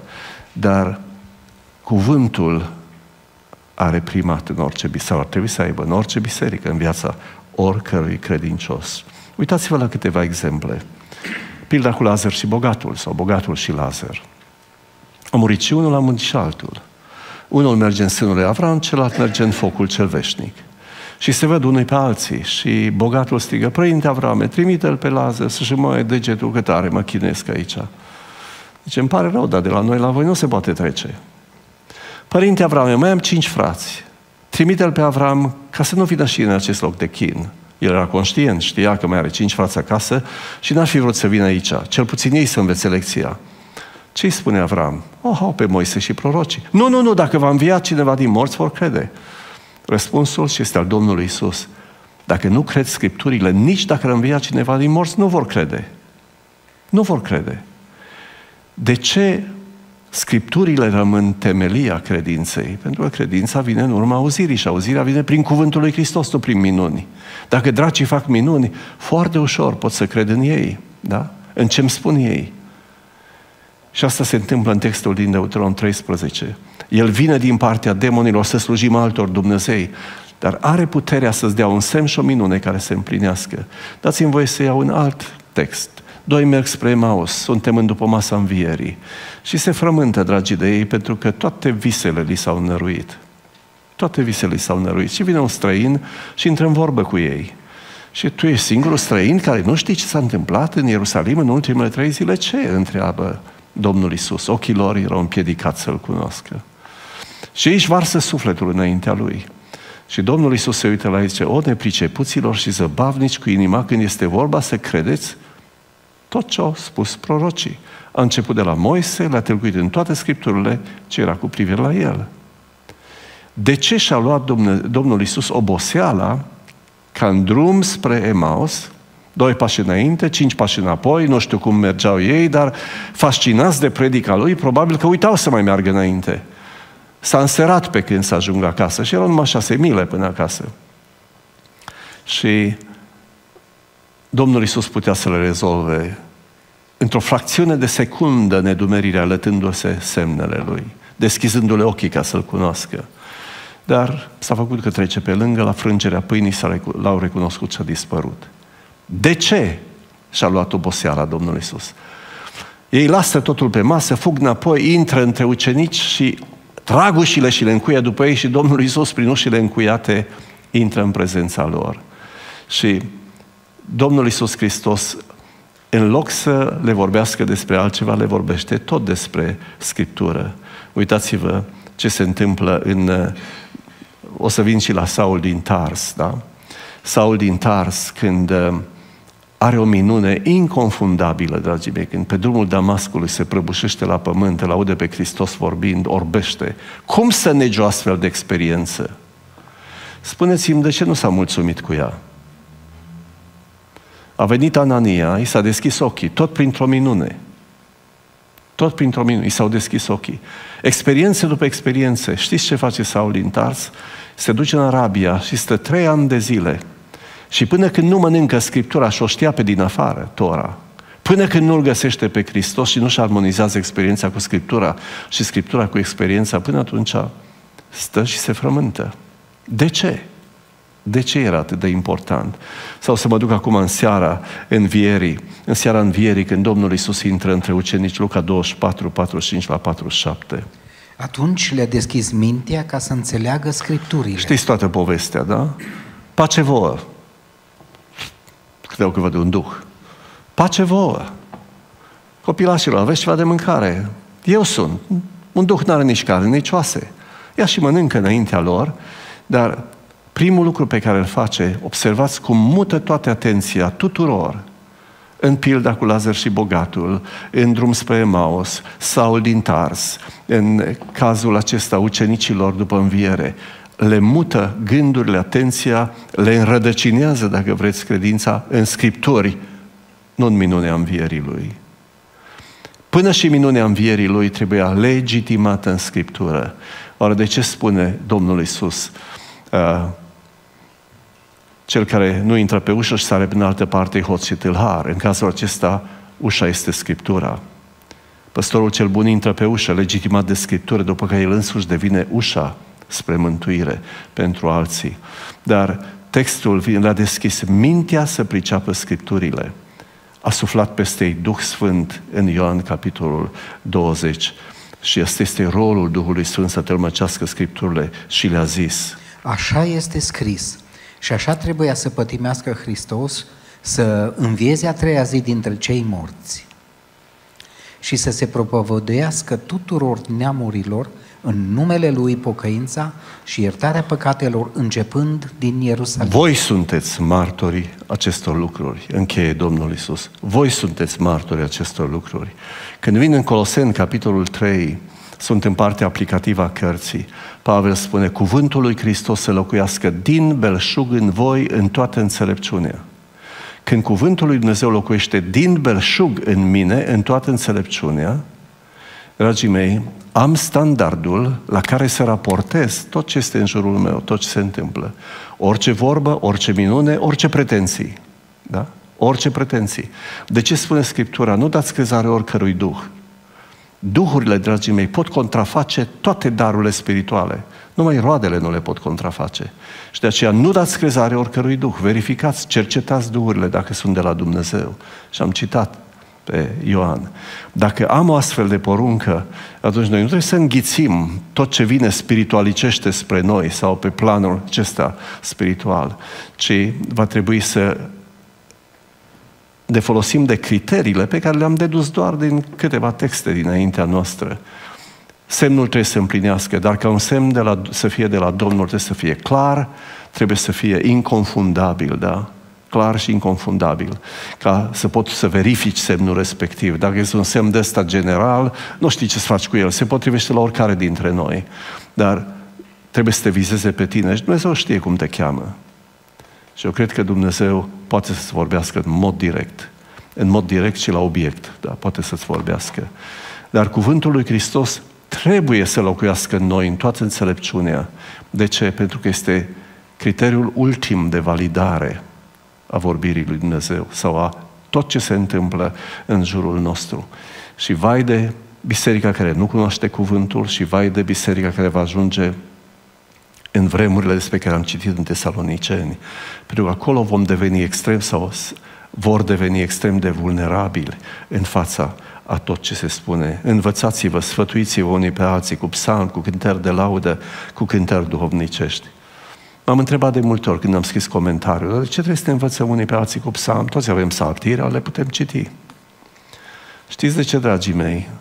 Vin momente în viața noastră când nu mai vedem și nu mai auzim.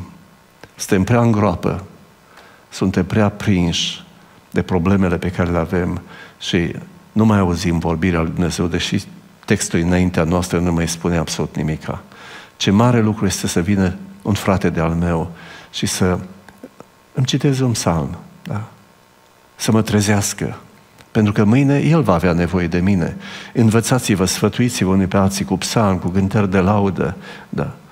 Și cu cântări duhovnicești, cântând lui Dumnezeu cu mulțumire în inima voastră. Răscumpărați vremea. Zilele sunt rele. Câte discuții inutile avem între noi, nimicuri, da, nimicuri. Dacă am împlinit doar textul acesta, am putea să împlinim și versetul imediat următor și orice faceți, cu cuvântul sau cu fapta, să faceți totul în numele Domnului Isus și mulțumiți prin El lui Dumnezeu Tatăl. În numele Domnului Isus fac doar lucrurile care le fac în ascultare de Domnul Isus și pot mulțumi prin Domnul Isus lui Dumnezeu Tatăl.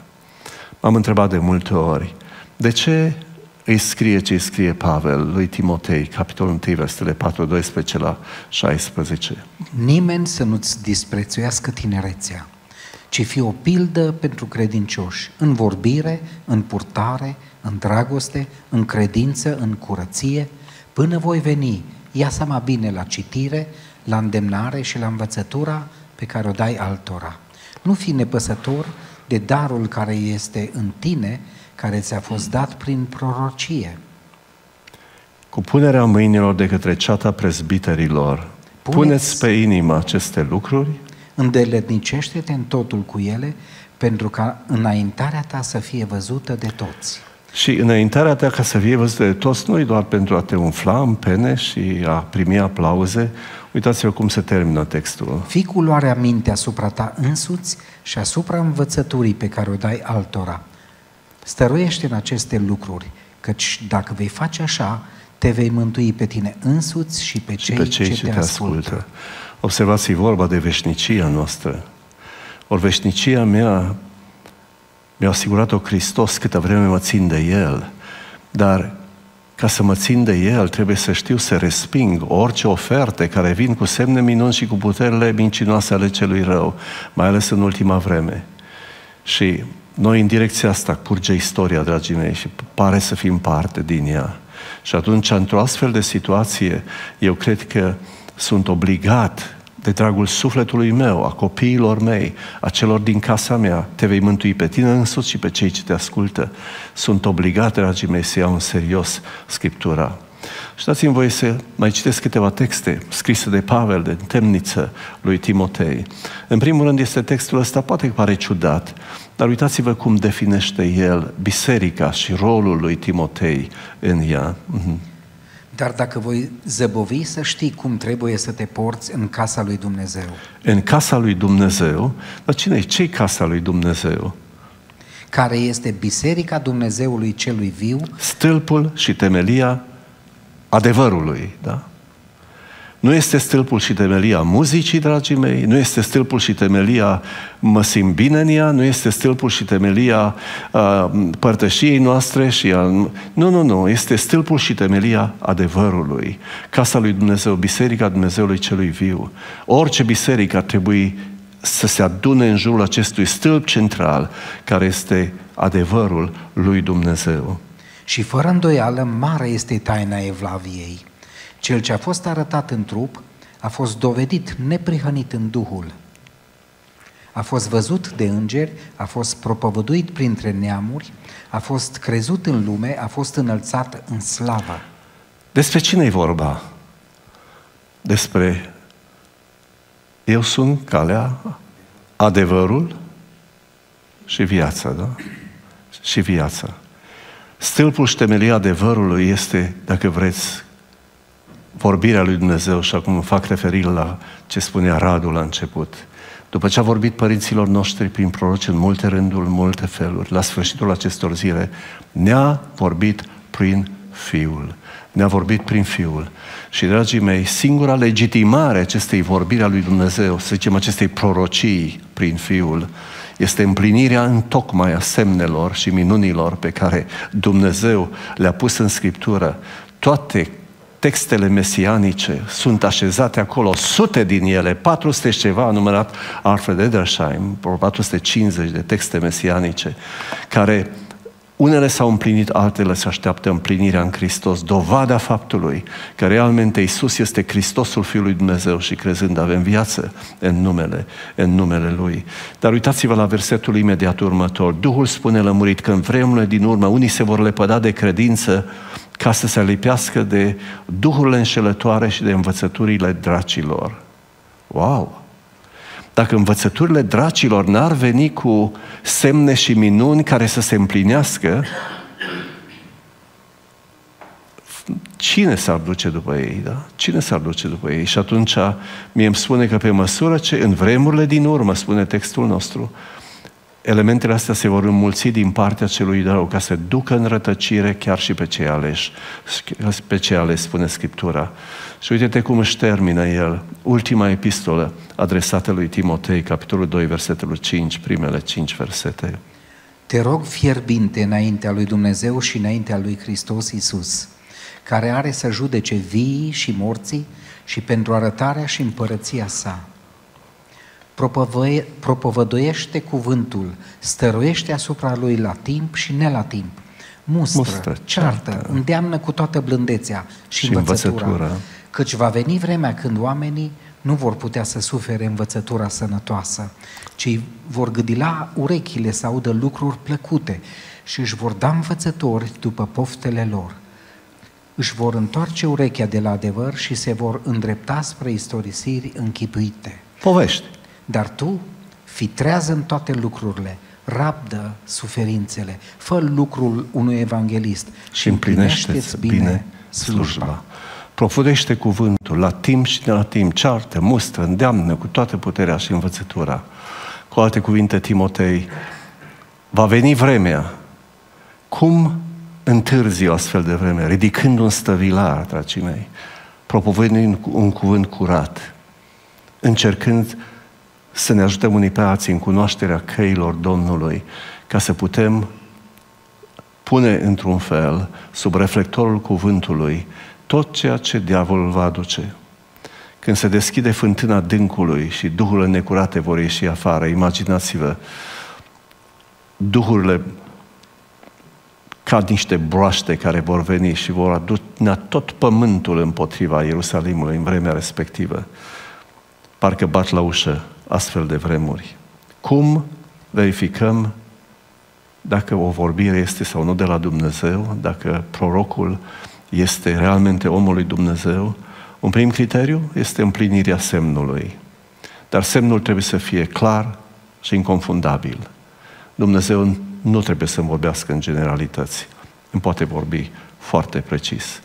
Dar criteriul ultim este armonia a ceea ce mi se spune cu revelația lui Dumnezeu, cu cuvântul lui Dumnezeu, cu cuvântul lui Dumnezeu. De aceea, cred eu că putem vorbi despre imperativul prim, primatului cuvântului, imperativul cuvântului lui Dumnezeu. Cuvântul lui Dumnezeu ar trebui să fie preocuparea mea cea mare, nu minunile și semnele. Cuvântul lui Dumnezeu și cunoașterea cuvântului lui Dumnezeu. Și din nou, de ce? Dumnezeu spune, necunoscând căile Lui, El se dezgustă de noi pentru că inima noastră se rătăcește. Inima noastră se rătăcește. M-aș opri pentru întrebări și discuții și uh, mă gândesc că dacă sunt, sunt întrebări și discuții, probabil că ne vor lua un pic de timp și putem continua data viitoare dacă nu ne mai rămâne timp. Mm-hmm o întrebare din anonimă legat de întrebarea de început. Din perspectiva mea, cred că foarte mult contează cine rostește cuvintele așa vorbește Domnul. Un om vrednic va avea greutate în ceea ce spune și voi da ascultare. Însă, dacă este cineva pe care nu-l cunosc, cuvintele nu vor rezona la fel. Nu e chiar întrebare, doar o... Este o afirmație mai mult decât o întrebare și acum trebuie să judeci între doi oameni care e vrednic. Nu? Poftim? Nu, eu am pus întrebarea ce faci în fața unei astfel de afirmații, da? indiferent cine o rostește. Dacă n-ar exista proroși mincinoși, dacă n-ar exista posibilitatea ca din îndrăzneală cineva să vorbească în numele Domnului, folosind formula profetică, atunci probabil că ori de câte ori aud această formulă, o iau în serios, pentru că l-ascult pe Dumnezeu vorbindu-mi prin omul respectiv. Dar dacă este un om vrednic, spunea cel ca interlocutorul meu de pe internet, um, cine să... Eu sunt vrednic dacă vă prepovedesc Evanghelia? Nu, eu vă spun tuturor, nu credeți o babă din ce vă zic. Deschideți Scripturile și vedeți dacă ce vi s-a spus este sau nu așa. Dacă bereenii au putut să îl verifice pe Sfântul Apostol Pavel, cine sunt eu sau care e omul acela vrednic din istoria noastră care să nu trebuiască să fie verificat? Când e vorba de sufletul meu, eu nu pot să-mi vând sufletul pe vorba niciunui guraliv, indiferent cine ar fi el. Și atunci eu sunt obligat, într-un fel, să iau în serios lucrurile și să las ca Duhul lui Dumnezeu care mă locuiește să-mi deschidă mintea și să verific dacă ce mi s-a spus este sau nu de la Domnul. Și ați văzut cele două criterii când e vorba despre cineva care îndrăznește, chiar vrednic fiind să zic așa vorbește Domnul trebuie verificat prin împlinirea semnului, dacă semnul nu e atât de general încât să nu știi ce să faci cu el, și prin armonia cu Scriptura. Mm. Pavel întreabă cum se practică o prorocie. Este vorba de o inspirație spontană ce vine în mintea omului? Pavel nu știu. Dar dacă o inspirație spontanică care îmi trece prin minte, am impresia că este o prorocie, eu cred că e suficient de pildă să mă întreb. Am avut doar două exemple din Samuel. Avem pe omul lui Dumnezeu din 2 și avem pe Samuel din 9 și 10, în mod special din capitolul 9. Dumnezeu îi vorbește lui Samuel cum? Că asta este o altă întrebare. Dacă cineva intră sub autoritatea lui Dumnezeu, devine omul lui Dumnezeu și Dumnezeu îi vorbește, cum se întâmplă lucrul acesta? Eu nu știu cum vorbește Dumnezeu unui om. Cum îi spune, mâine la ora asta îți trimit un om din Beniamin, îl vei întâlni în poarta cetății, du-te și spune bucătarului cozi înainte să pună deoparte spata și cei mai buni și cum le comunică astea? Spuneți-mi, cum i-a vorbit lui Samuel? A strigat? Ar fi auzit și Eli. Dacă n-a auzit Eli, care era lângă el, iată-mă, mai strigat. Dacă Eli n-a auzit nimica, înseamnă că Dumnezeu nu trebuie să zic, rostească nicio vorbă. El poate imprima în mintea lui Samuel fiecare cuvânt care să nu-l uite niciodată. Da? Poate să facă treaba asta. Cum? Nu mă întrebați, nu știu. Dar țin minte doar atâta. L-am visat pe Filip de vreo două ori. Niciodată n-am schimbat vreo vorbă cu el, dar ne-am înțeles absolut perfect. Toate cuvintele, vi le pot reproduce, uite așa, toate câte le-am auzit. În, uh, cum se întâmplă? Noi trăim acum într-un trup atins de păcat. Am fost făcuți pentru puțină vreme mai pe jos de îngeri. Cum e când limitele astea se ridică și Dumnezeu are acces în mintea unui om? Spuneți-mi, cum a comunicat lui Dumnezeu? Vezi că la mormântul Rahelei și la stejarul de nu știu unde și lângă... Cum se întâmplă lucrurile astea? Habar n-am. Vom vorbi un pic mai târziu despre profeția în cadrul lui Israel, dacă avem timp.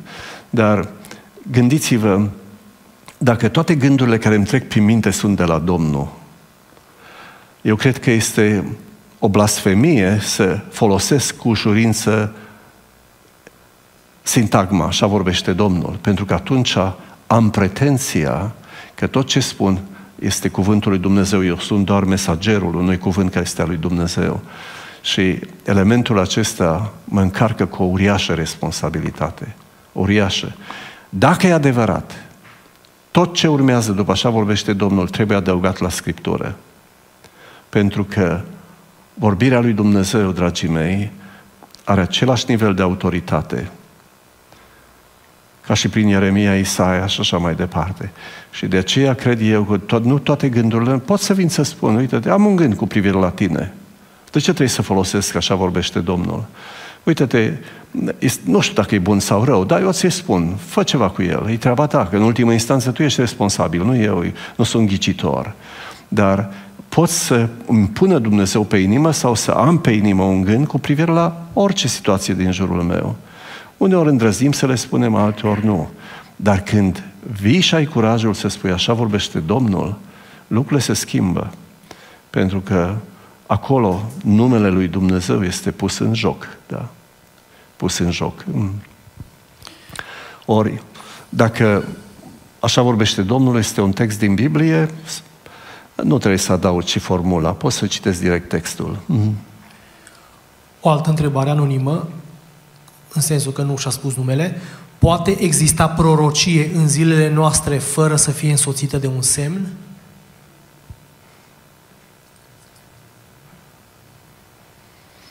Întrebarea este cum o verific.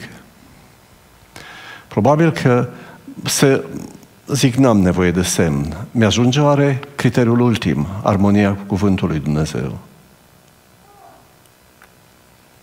Dacă uh, înțelegem prorocirea, cum o definește Pavel, vorbire spre sfătuire, zidire, sfătuire, mângâiere, am putea spune că semnul ar putea fi dragostea, pentru că această vorbire, nou legământ, se face prin arătarea Duhului spre folosul celuilalt. Deci Pavel zice, noi vorbim cu vorbim învățate la Duhul Sfânt și atunci, practic, uh, Duhul se arată nu spre folosul meu, ci spre folosul altuia. Uh, dragostea nu caută folosul său, deci dragostea este, într-un fel, echivalentă cu arătarea Duhului spre folosul altuia. Foarte. Și ajungerea lui la mântuire și atunci mm. asta e semnul.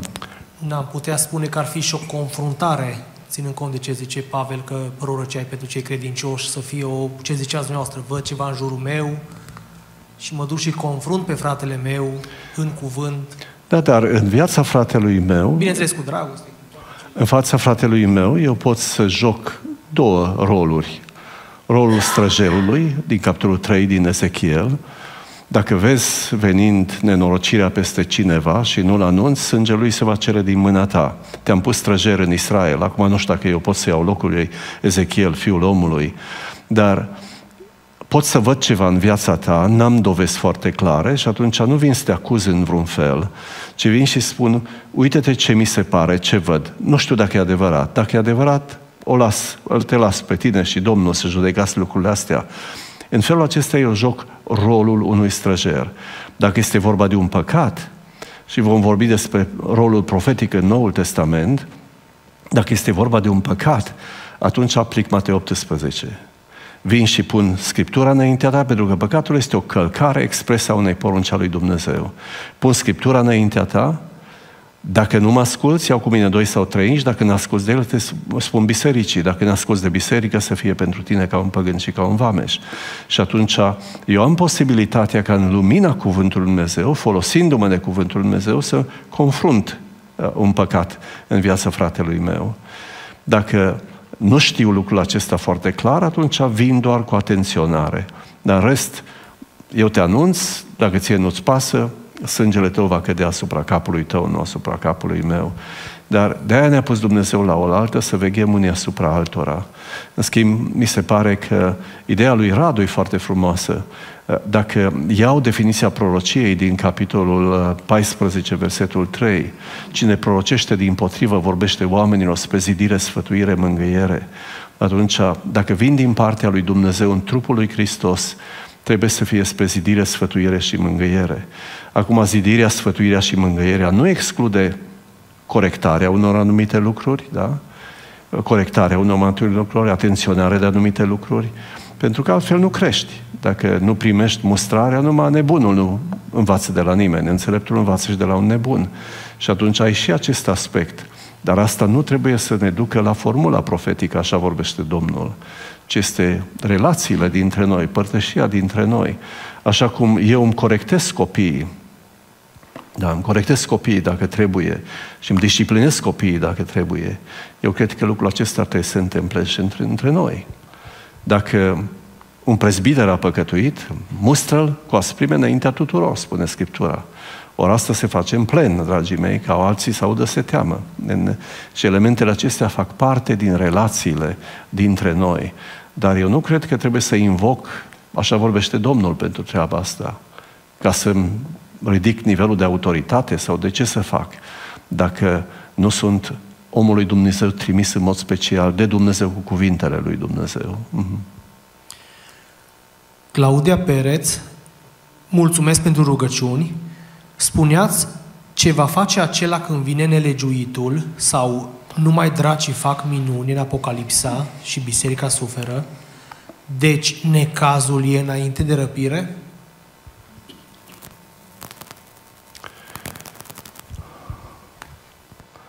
Claudia, probabil că ai unul și doi tesaloniceni, acolo am scris tot ce am știut despre ea. Când e vorba de um, o altă carte, este Venirea Domnului. Eu n-am îndrăznit nici să vorbesc tematic, nici să ani și ani și ani de zile.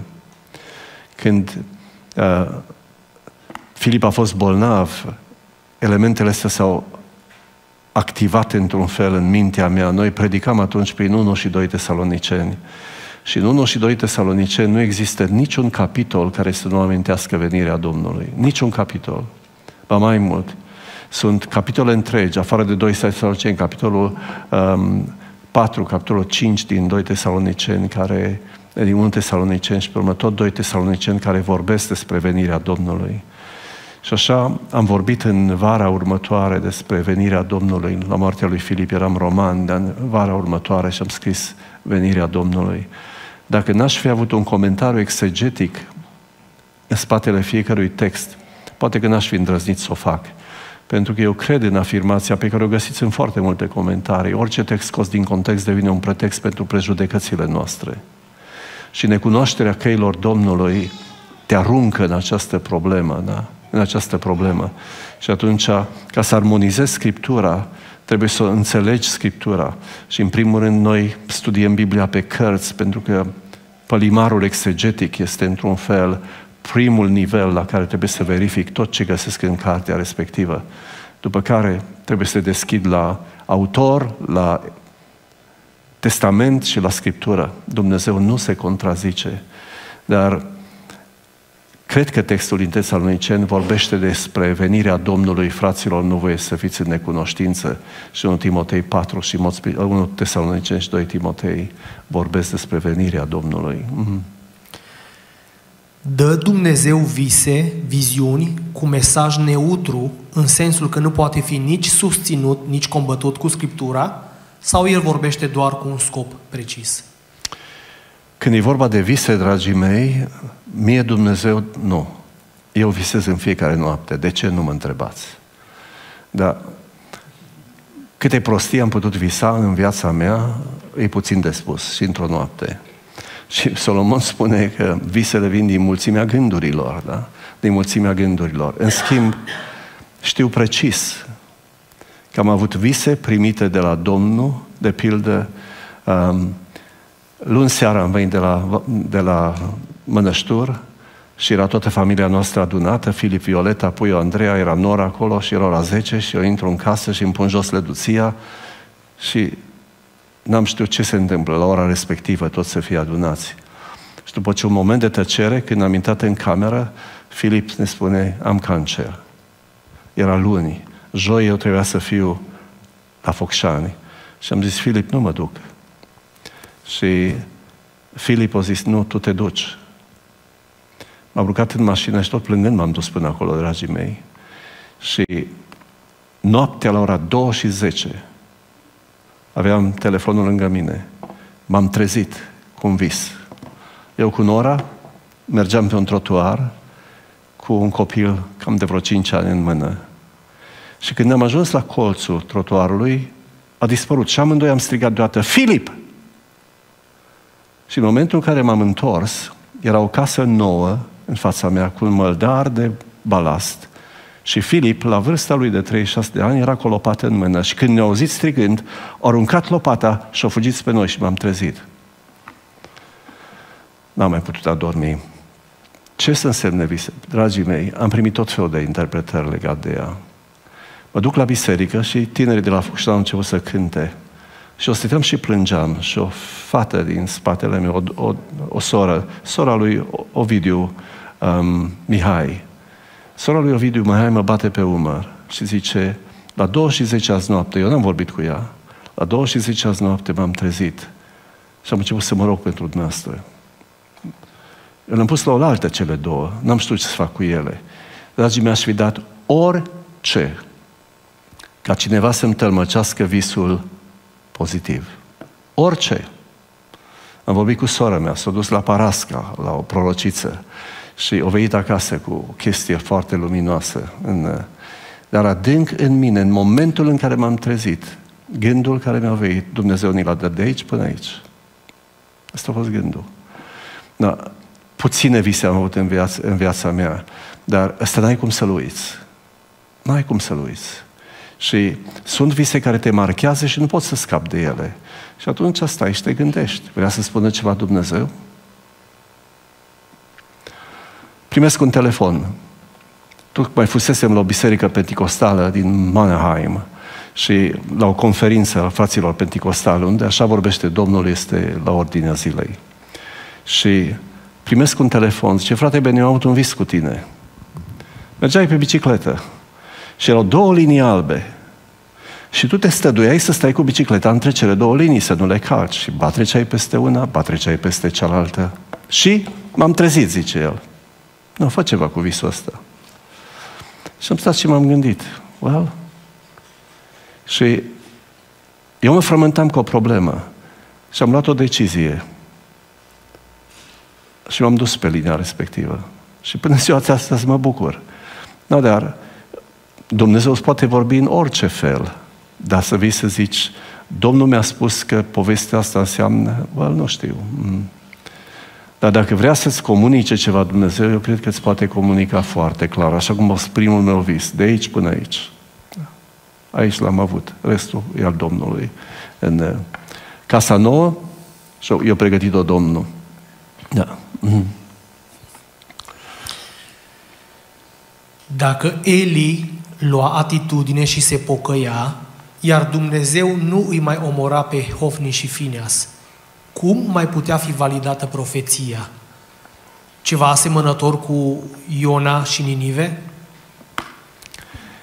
Uite-te că a venit și cu un exemplu, dar noi am citit, sau am citat textul din Ieremia, capitolul 18. Deodată zic despre un neam că îl voi smulge, că îl voi dărâma, că îl voi nimici. Dacă neamul acela se pocăiește, îmi pare rău de răul pe care mi-am pus în gând să-l fac. Și atunci te întrebi, dacă Dumnezeu vrea să mă pedepsească, trebuie să-mi spună înainte? Nu, mă poate strivi imediat. Nu mă trage mâna înapoi și totul se usucă și totul moare. Psalmul 104, Psalmul 105, da? Noi trăim pentru că El susține creația Lui. El este suficient să-și tragă înapoi suflarea și în clipa aceea totul pierde. Și atunci, de ce mă anunță Dumnezeu înainte, în lumina Scripturii? Dacă e pozitivă vorbirea lui Dumnezeu, să lucrez cu El la împlinirea ei. Dacă e negativă, să lucrez împotriva împlinirii ei. Cu alte cuvinte, să mă pocăiesc. Dumnezeu l-ar fi putut ierta pe Nelly? Pe Eli? Probabil că da. Așa te întreb, l-ar fi putut ierta pe Iuda dacă în loc să spânzuri ar fi venit la Hristos? Dumnezeu nu dorește moartea păcătosului. Nu dorește. Dar acum, faptul că uh, el i-ar fi omorât fiii, că o altă întrebare este ce se întâmplă în plan spiritual. Faptul că îți termină viața Dumnezeu este una. Dacă îți termină veșnicia este alta. Și atunci ce greutate are? De aia noi, în cazul lui Eli, când Dumnezeu vine și spune prin niciodată, nici jerfe, nici arderi de tot, nici... Și atunci acolo deja povestea e complicată, pentru că vine un verdict al lui Dumnezeu, dar cred că și acolo, și acolo, dacă ar fi existat pocăință, Orelia a zis, da, este Domnul, facă ce o va crede. Mm-hmm. Cu alte cuvinte, după mine potopul, e tot acolo. Nu știm exact ce e. Naratorul nu ne spune. Mm-hmm. Pot să cred o viziune prin care mi se spune că un anume om din biserică, în vremuri de încercare, va fi singurul cu discernământ și că trebuie să-l urmăm? Nu, singurul om este Hristos. Și atunci, și dacă ar veni Sfântul Apostol Pavel, el nu poate pretinde să zică am o viziune că... Ci nu uitați ce spune Biblia. O inimă bereană este deschide cuvântul și vede dacă ce i s-a spus este sau nu așa.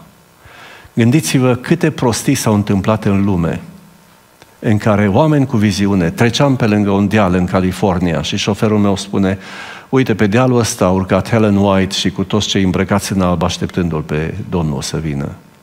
Well, dar nu numai de aia din Guiana, care s-au sinucis o mie și ceva de oameni, dragii mei. Toți au băut la cina Domnului o travă. Mm-hmm. Pentru că Dumnezeu a zis că vine și ea și îi duce în cer de acolo.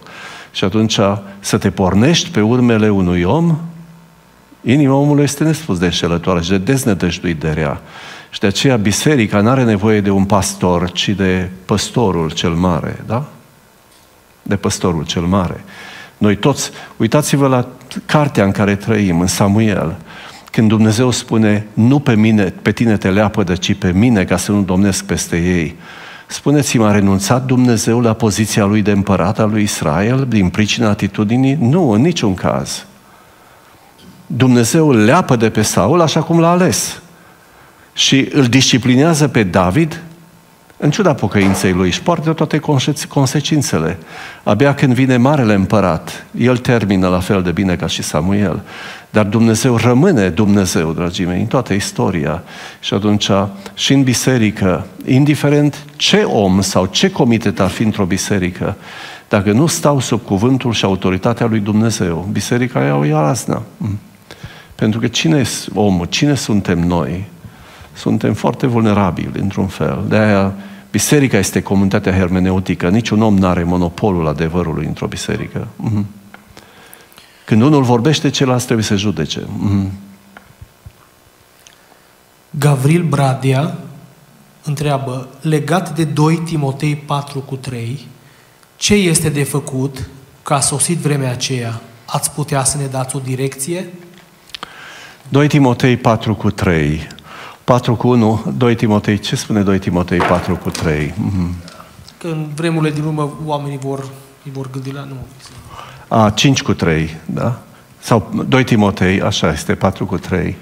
A, dragii mei, cu siguranță că asta este direcția în care merg bisericile. Când Domnul Iisus spune, când va veni Fiul omului, va găsi credință pe pământ.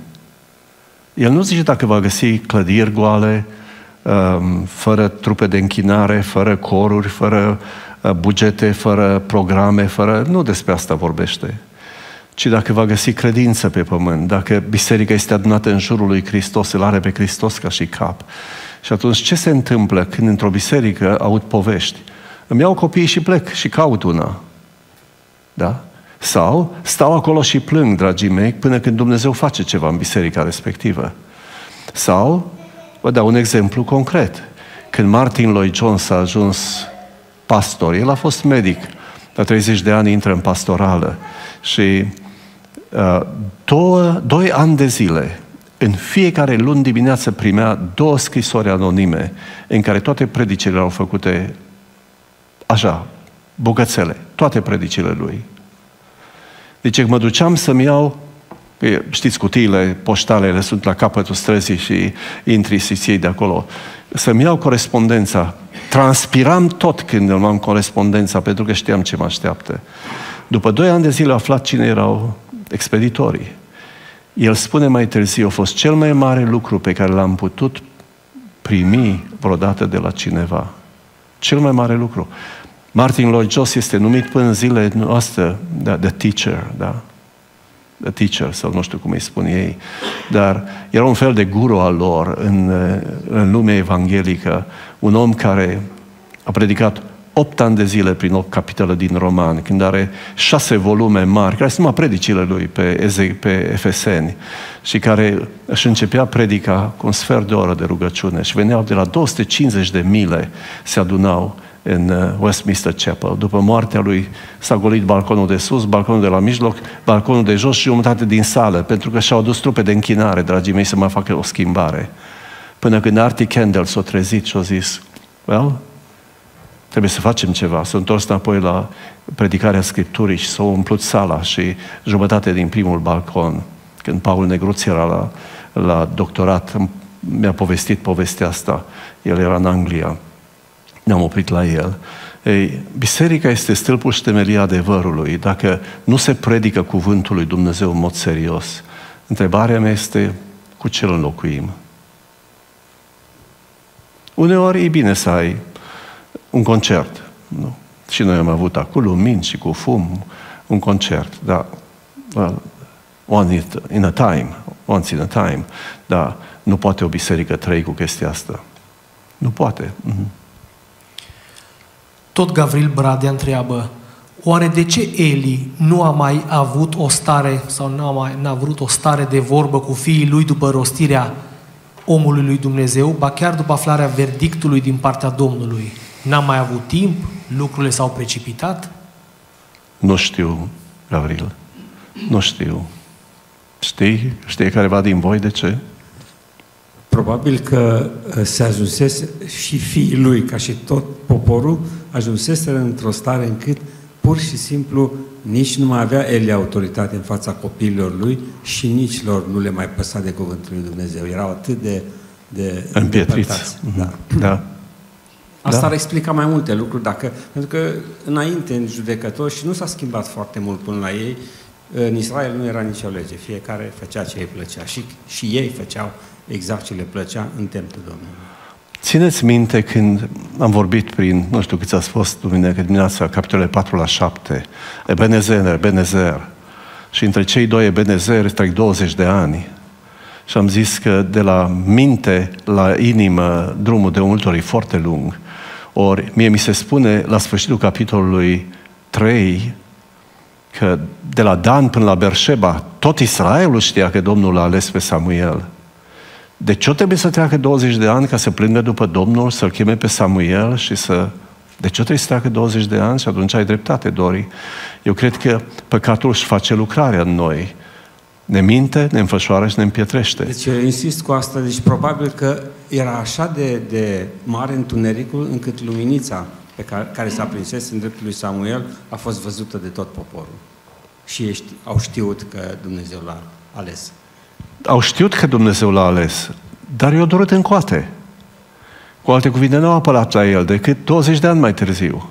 Și atunci e una să știi, alta să trăiești în baza ceea ce știi. Și atunci aici e marea problemă și aici intervine împietirea, când nu te mai interesează, nu mai auzi. Dumnezeu a trebuit să strângă șurubul atât de tare încât să înceapă să urle, ca și în Egipt, din pricina a ceea ce a dus faraon peste ei. Și Dumnezeu Abia atunci și-au adus aminte de Samuel și abia atunci au venit la el și Samuel s-a rugat Domnului și Dumnezeu le-a dat izbăvirea. În, uh, dar textul spune foarte clar, 20 de ani au trecut. 20 de ani între... Uh, eu aș mai avea o întrebare. Auzi de multe ori în predici, la noi în biserică n-am auzit niciodată, trebuie să recunosc, dar auzi uh, următorul lucru. Am vrut să văd care este voia Domnului cu privire la cu tare lucru sau la cu tare lucru, dacă să merg acolo sau să fac cu tare lucru. Și atunci am pus un semn. Eu, multă vreme, am folosit expresia, l-am ispitit pe Dumnezeu cerând un semn. Și unii spuneau că semnul s-a întâmplat și exact cum l-au pus ei, și atunci s-au dus în lucrarea respectivă, iar alții spuneau că nu s-a întâmplat și așa au... Ce părere ai despre instrumentul ăsta de aflare a voii Domnului? Așa o întrebare mai practică, mai simplă. Cum au aruncat sorțul între cei doi? Pentru că nu puteau fi nici 11, nici 13. Trebuia să fie 12, că numai 12 scaune de domnie exista. Și erau doi care se calificau. Și au trebuit să aleagă între ei. Și zice că au aruncat sorțul între ei. Și Domnul l-a pus pe Matia. Nu mai auzit nimic de el niciodată.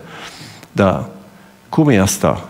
Cum a aruncat sorțul Samuel între semințile lui Israel, între familiile din Beniamin și cum a căzut pe Saul? Și atunci întrebarea este, Pot să arunc sorțul și astăzi? Well, nu știu. În nu știu. Saul era, în timpul lui Samuel erau Urim și Tumim, care era panajul marului preot. Probabil că era o procedură de a afla soțul. Astăzi nu mai avem. Mm. Dar nu știm nici atunci cum se foloseau Urim și Tumim. Nu avem informație. Nu, nu. Mm-hmm.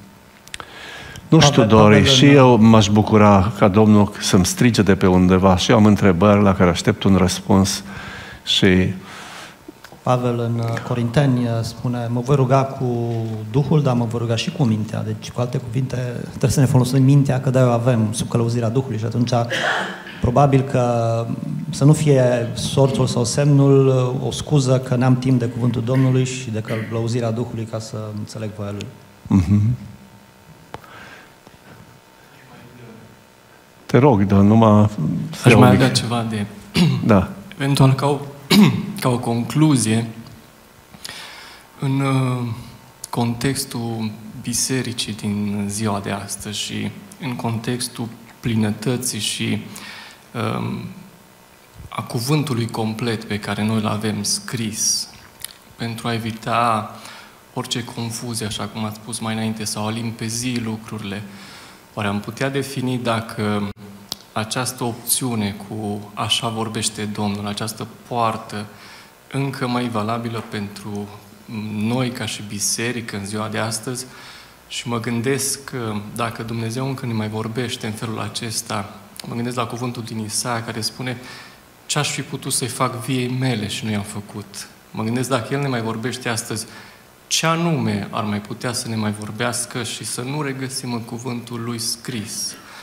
Ehm, mă gândesc că confuzia e foarte mare dacă încă mai găsim valabilă ehm, poarta aceasta a vorbirii, așa cum ați spus, așa vorbește Domnul.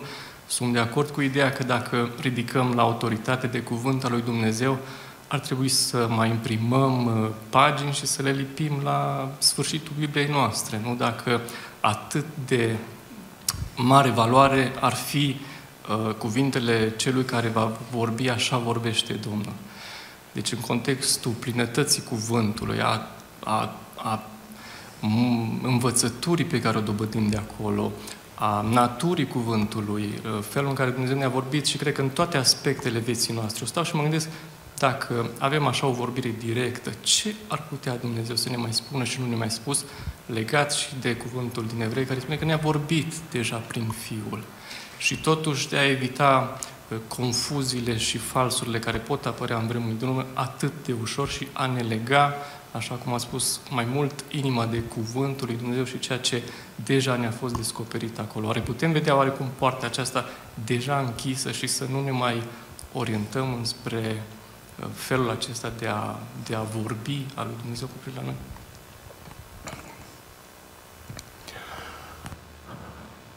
Dacă Dumnezeu e Dumnezeu, Nimeni nu-l poate opri să vorbească și astăzi ca și atunci. În primul rând, eu nu pot să-l limitez pe el. Dar pe de altă parte, mi-a spus și atunci și cred că rămâne valabil și acum, dacă eu trebuie să aleg de pildă în a verifica cuvântul lui Dumnezeu spre oricine care are pretenția, zic așa vorbește Domnul, atunci între vorbirea pe care o aud și cuvânt, cuvântul rămâne prioritar și cuvântul rămâne criteriul ultim de validare a oricărei vorbiri. Și dacă cuvântul rămâne criteriul ultim, atunci nu cumva criteriul ar trebui să fie, sau cuvântul ar trebui să fie suficient, și asta aud din cuvintele tale, suficient, și Radu a început afirmând textul din uh, Evrei, la sfârșitul acestor zile ne-a vorbit prin Fiul. Ne-a vorbit prin Fiul, ultima vorbire a lui Dumnezeu. Ce să fac, de pildă, cu uh, situația cea lui Pavel, când cineva ia brâul și își leagă mâinile și așa va lega Dumnezeu pe Pavel și Pavel aude toată povestea și zice, bă, mulțumesc frumos și el se duce înainte și toate astea se împlinesc pentru el, dar pentru el astea sunt doar mijlocul prin care Dumnezeu lucrează. Una din problemele mele, n-aș putea să zic da sau nu, la, pentru că nu-L pot opri pe Dumnezeu să vorbească când vrea, cum vrea și prin cine vrea. Dar, una din problemele mele mari care mă frământ de multă vreme este exact ce ai afirmat tu. Când aud această afirmație și corect, așa vorbește Domnul, indiferent ce urmează după această formulă profetică, tot ce urmează trebuie să aibă autoritatea cuvântului Dumnezeu și trebuie să lipesc pagini la Scriptură pentru că Dumnezeu se revelează pe sine prin tot ce vorbește. Și cunoașterea lui Dumnezeu este viața veșnică. Și atunci, dacă Dumnezeu nu mi-a dat suficient în Scriptură și trebuie să mai adauge încă două volume la Scriptură ca să-L cunosc pe El, um, asta îmi ridic o semn, o semn de întrebare. Diferența dintre perioada lui Samuel și perioada noastră este că noi avem revelația completă, avem și coperta din spatea Scripturii. Și Dumnezeu și-a terminat într-un fel vorbirea prin Scriptură. Da, acum, dacă vine cineva și spune, um, mâine vei trece printr-un necaz, well, s-ar putea să se împlinească.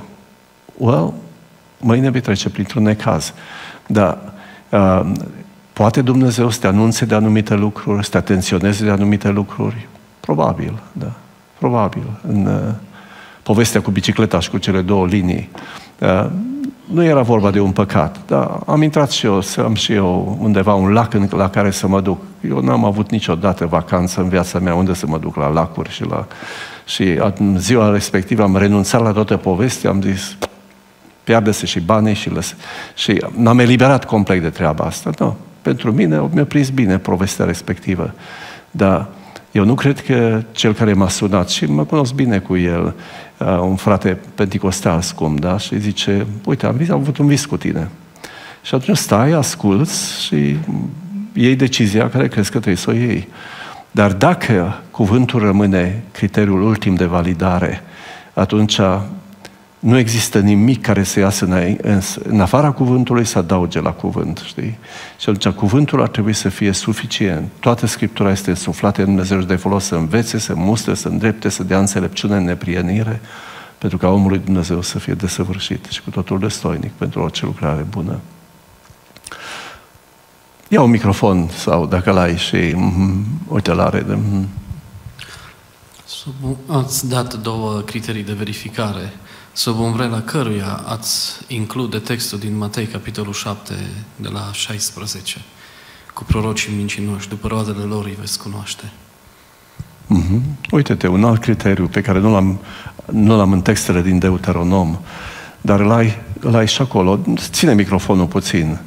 Și la ce te ajută criteriul ăsta? Sau cum l-ai folosit criteriul ăsta? Uh-huh. Depinde cum înțelegem. Textul spune așa, ca să știți, știți toți la ce mă refer. Uh-huh. Fiți cu băgare de seamă la profeții mincinoși care vin la voi îmbrăcați în piei de oi, dar pe din lăuntru sunt luprăpitori. După roadele lor îi veți cunoaște. Oare, culeg, oare se culeg struguri din mărăcini sau smochine din ciulini? Tot așa, orice pom bun face roade bune, dar pomul rău face roade rele. Pomul bun nu poate face roade rele, nici pomul rău nu poate face roade bune. Orice pom care nu face rod bun este tăiat și aruncat în foc. Așa că după roadele lor îi veți cunoaște. Uh-huh. Da, acum, lasă-mă să iau textul ăsta, să-l pun în dreptul lui Balam. Balam era bun ori rău?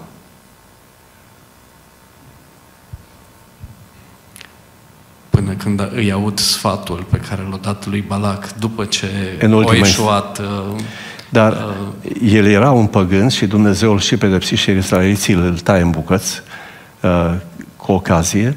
În schimb, ce se întâmplă este Duhul lui Dumnezeu, când citești textul ăsta, e foarte important să distingi între Iahve și Elohim, între Dumnezeu și Domnul.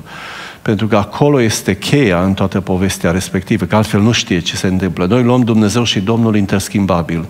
Dați doi termeni. Dumnezeu este termenul generic, Domnul este termenul specific, care vizează pe Dumnezeul lui Israel. Și atunci, când Iahve încalecă lungimea de unda lui Balan, rostește unele din cele mai frumoase profeții. Auzeam aseară doi evrei discutând despre Crăciun și despre nașterea lui Hristos și despre, nu e important când s-a născut, e important unde s-a născut. Și discutau evreiește despre detalii pe care noi nici măcar nu le sesizăm în Bibliile noastre uh, și termeni care sunt acolo. Dar când au ajuns la magi, mi-a fost, a fost interesant pentru mine să văd că fac referire la textul din, lui, din capitolul 23, o stiară sare din uh, Iacov, știi? Și în, într-un fel, ce interesant este că Dumnezeu poate folosi măgărița lui Balam să vorbească adevăruri. Și poate folosi pe Balam să se rostească profeții extraordinare cu privire la el.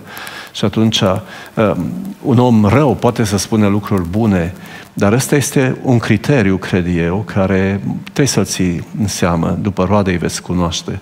Și aici este problema, uneia din întrebări, știi, într-un om care e vrednic, din punctul meu de vedere, îi primesc mai ușor afirmația decât de unul care nu-l cunosc. Și asta este problema prorocilor și văzătorilor iteranți, care umblă dintr-o biserică în alta și se ridică și vorbesc, nimeni nu știe cum trăiește cu nevasta, cine sunt copiii, ce se întâmplă.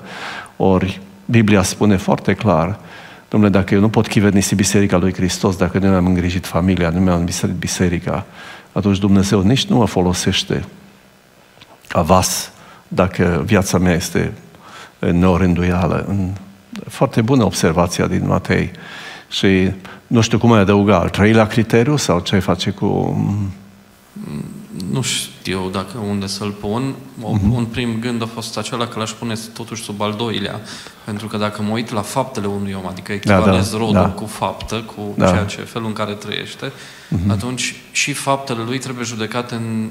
Uh, în lumina cuvântului. În, cu, vis-a-vis de un standard. Da, și atunci da. ajung practic la al doilea, la principiul uh-huh. ultim, că faptele unui om nu le pot judeca decât în lumina da. Scripturii, ăla e criteriu. Altfel, n-am nicio faptul că mă deranjează pe mine. De, de aia am adus în discuție pe Balam, pentru că Balam ca persoană este un păgân, un văzător, care nu are nimic, a vine să blasteme poporul, știi? Și Dumnezeu poate încăleca lungimea de undă a unui astfel de om ca să spună lucruri valabile, valoroase. Da, dar principiul cred că rămâne când în mijlocul nostru eu cred că viața îmi validează cuvintele sau mi le invalidează. Mm. Că dacă pe mine nu m-a schimbat cuvântul, pe de altă parte, și din gura unui bețiv poți auzi un lucru din care să înveți ceva. Acum proverbul zice că în gura păcătosului adevăr grește. Nu tot timpul, dar măcar uneori. Uneori, da. Mm-hmm. Mm-hmm. Mai rămas o întrebare, Marius? Mm-hmm. Două, dar cecăm scurt. Uh, Elisei. Da. Pace. Ce atitudine ar trebui să avem față de prorocii mincinoși din zilele de astăzi? Ar trebui să-i considerăm egali cu cei care învață o învățătură străină? Putem folosi pentru aceștia textul din 1 Timotei, capitolul 6, versetul de la 3 la 5? Uh, ferește-te de astfel de oameni. Cu siguranță. Dacă ar fi să fiu mai dur, ar trebui omorâți cu pietre. Doar că textul meu îmi spune să nu te tem de el. Dragii mei, aud de foarte multe ori. Eram la o întâlnire la Oradia.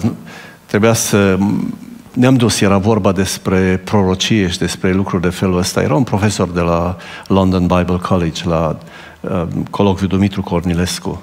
Și am stat și l-am ascultat și mi-am luat pe frații mei penticostali și am dus acolo, că acum în sfârșit o să audă ceva. Dar am rămas absolut blocat.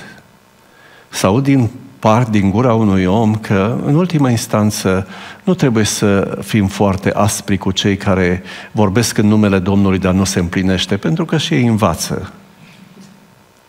Eu, eu am rămas absolut, uite, școala prorocilor, într-un fel. Am rămas absolut blocat. Cum adică? Eh, Samuel putea să-i dea un semn bun și două semne rele, pentru că încă era și pe punctul de a învăța, putea să-i spună lui, nu, nu se poate.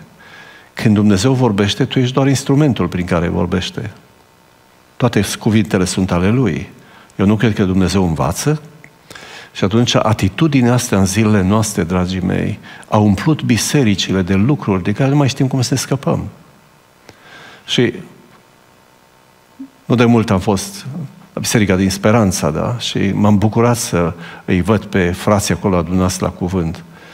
Dar să aud, domnule, lucrurile de care ne lăsăm noi, le preluați voi? Uitați-vă la trendurile din zilele noastre, că ne străduim în direcția asta, tânjim după ele, întindem mâna după ele. Alții nu știu cum să le dezbrace. Pentru că n-am împlinit o poruncă clară din Scriptură. Când unul vorbește, celălalt se judece. Ca să poți judeca, trebuie să ai un standard, trebuie să cunoști cuvântul. Și atunci mă bucur de faptul că mulți din păstorii mai tineri, dragii mei, când cineva zice așa vorbește Domnul, își pornesc telefoanele și înregistrează. Și după ce s-a terminat biserica, îi cheamă la comitet.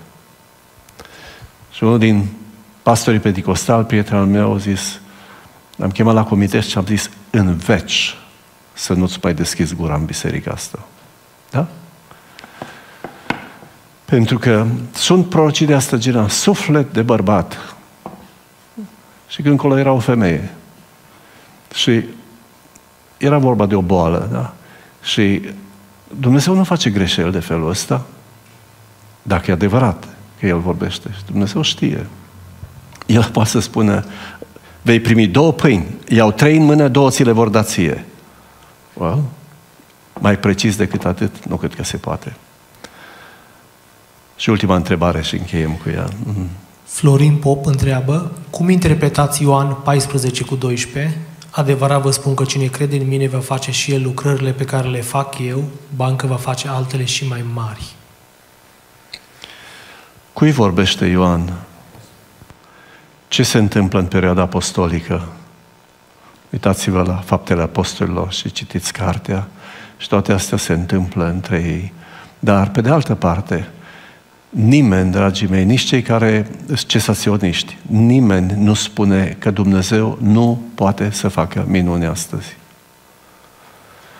Ci singura diferență este că minunile nu sunt norma în Biserica lui Dumnezeu, sunt excepția. Dumnezeu, fiind în afara spațiului și timpului, El poate interveni oricând. O minune nu este o călcare a legilor naturii, ci este injectarea unui nou feed în realitatea în care trăim.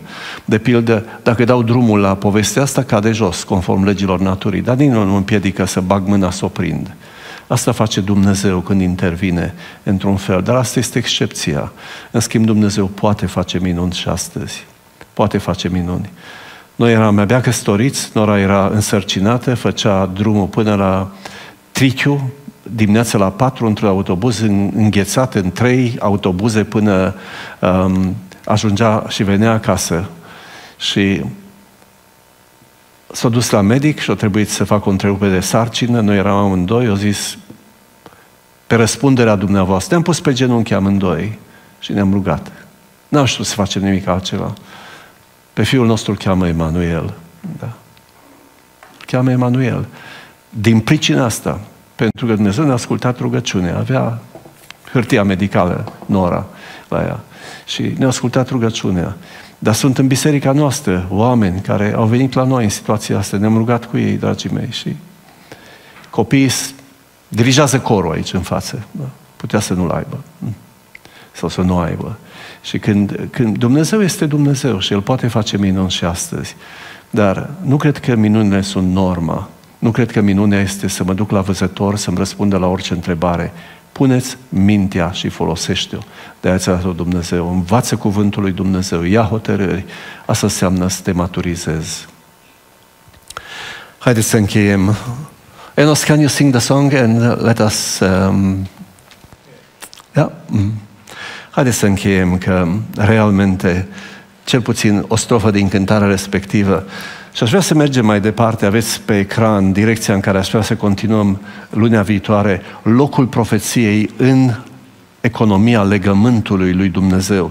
Sunt, nu sunt lucruri noi și pe urmă am vrea să vorbim despre rolul profetic în Noul Testament și rolul profetic al Bisericii Noului Testament în lume. Pentru că profeția, într-un fel, ar trebui să fie o rază de lumină în întunericul din lumea aceasta. Ori asta noi o facem prin trăirea noastră.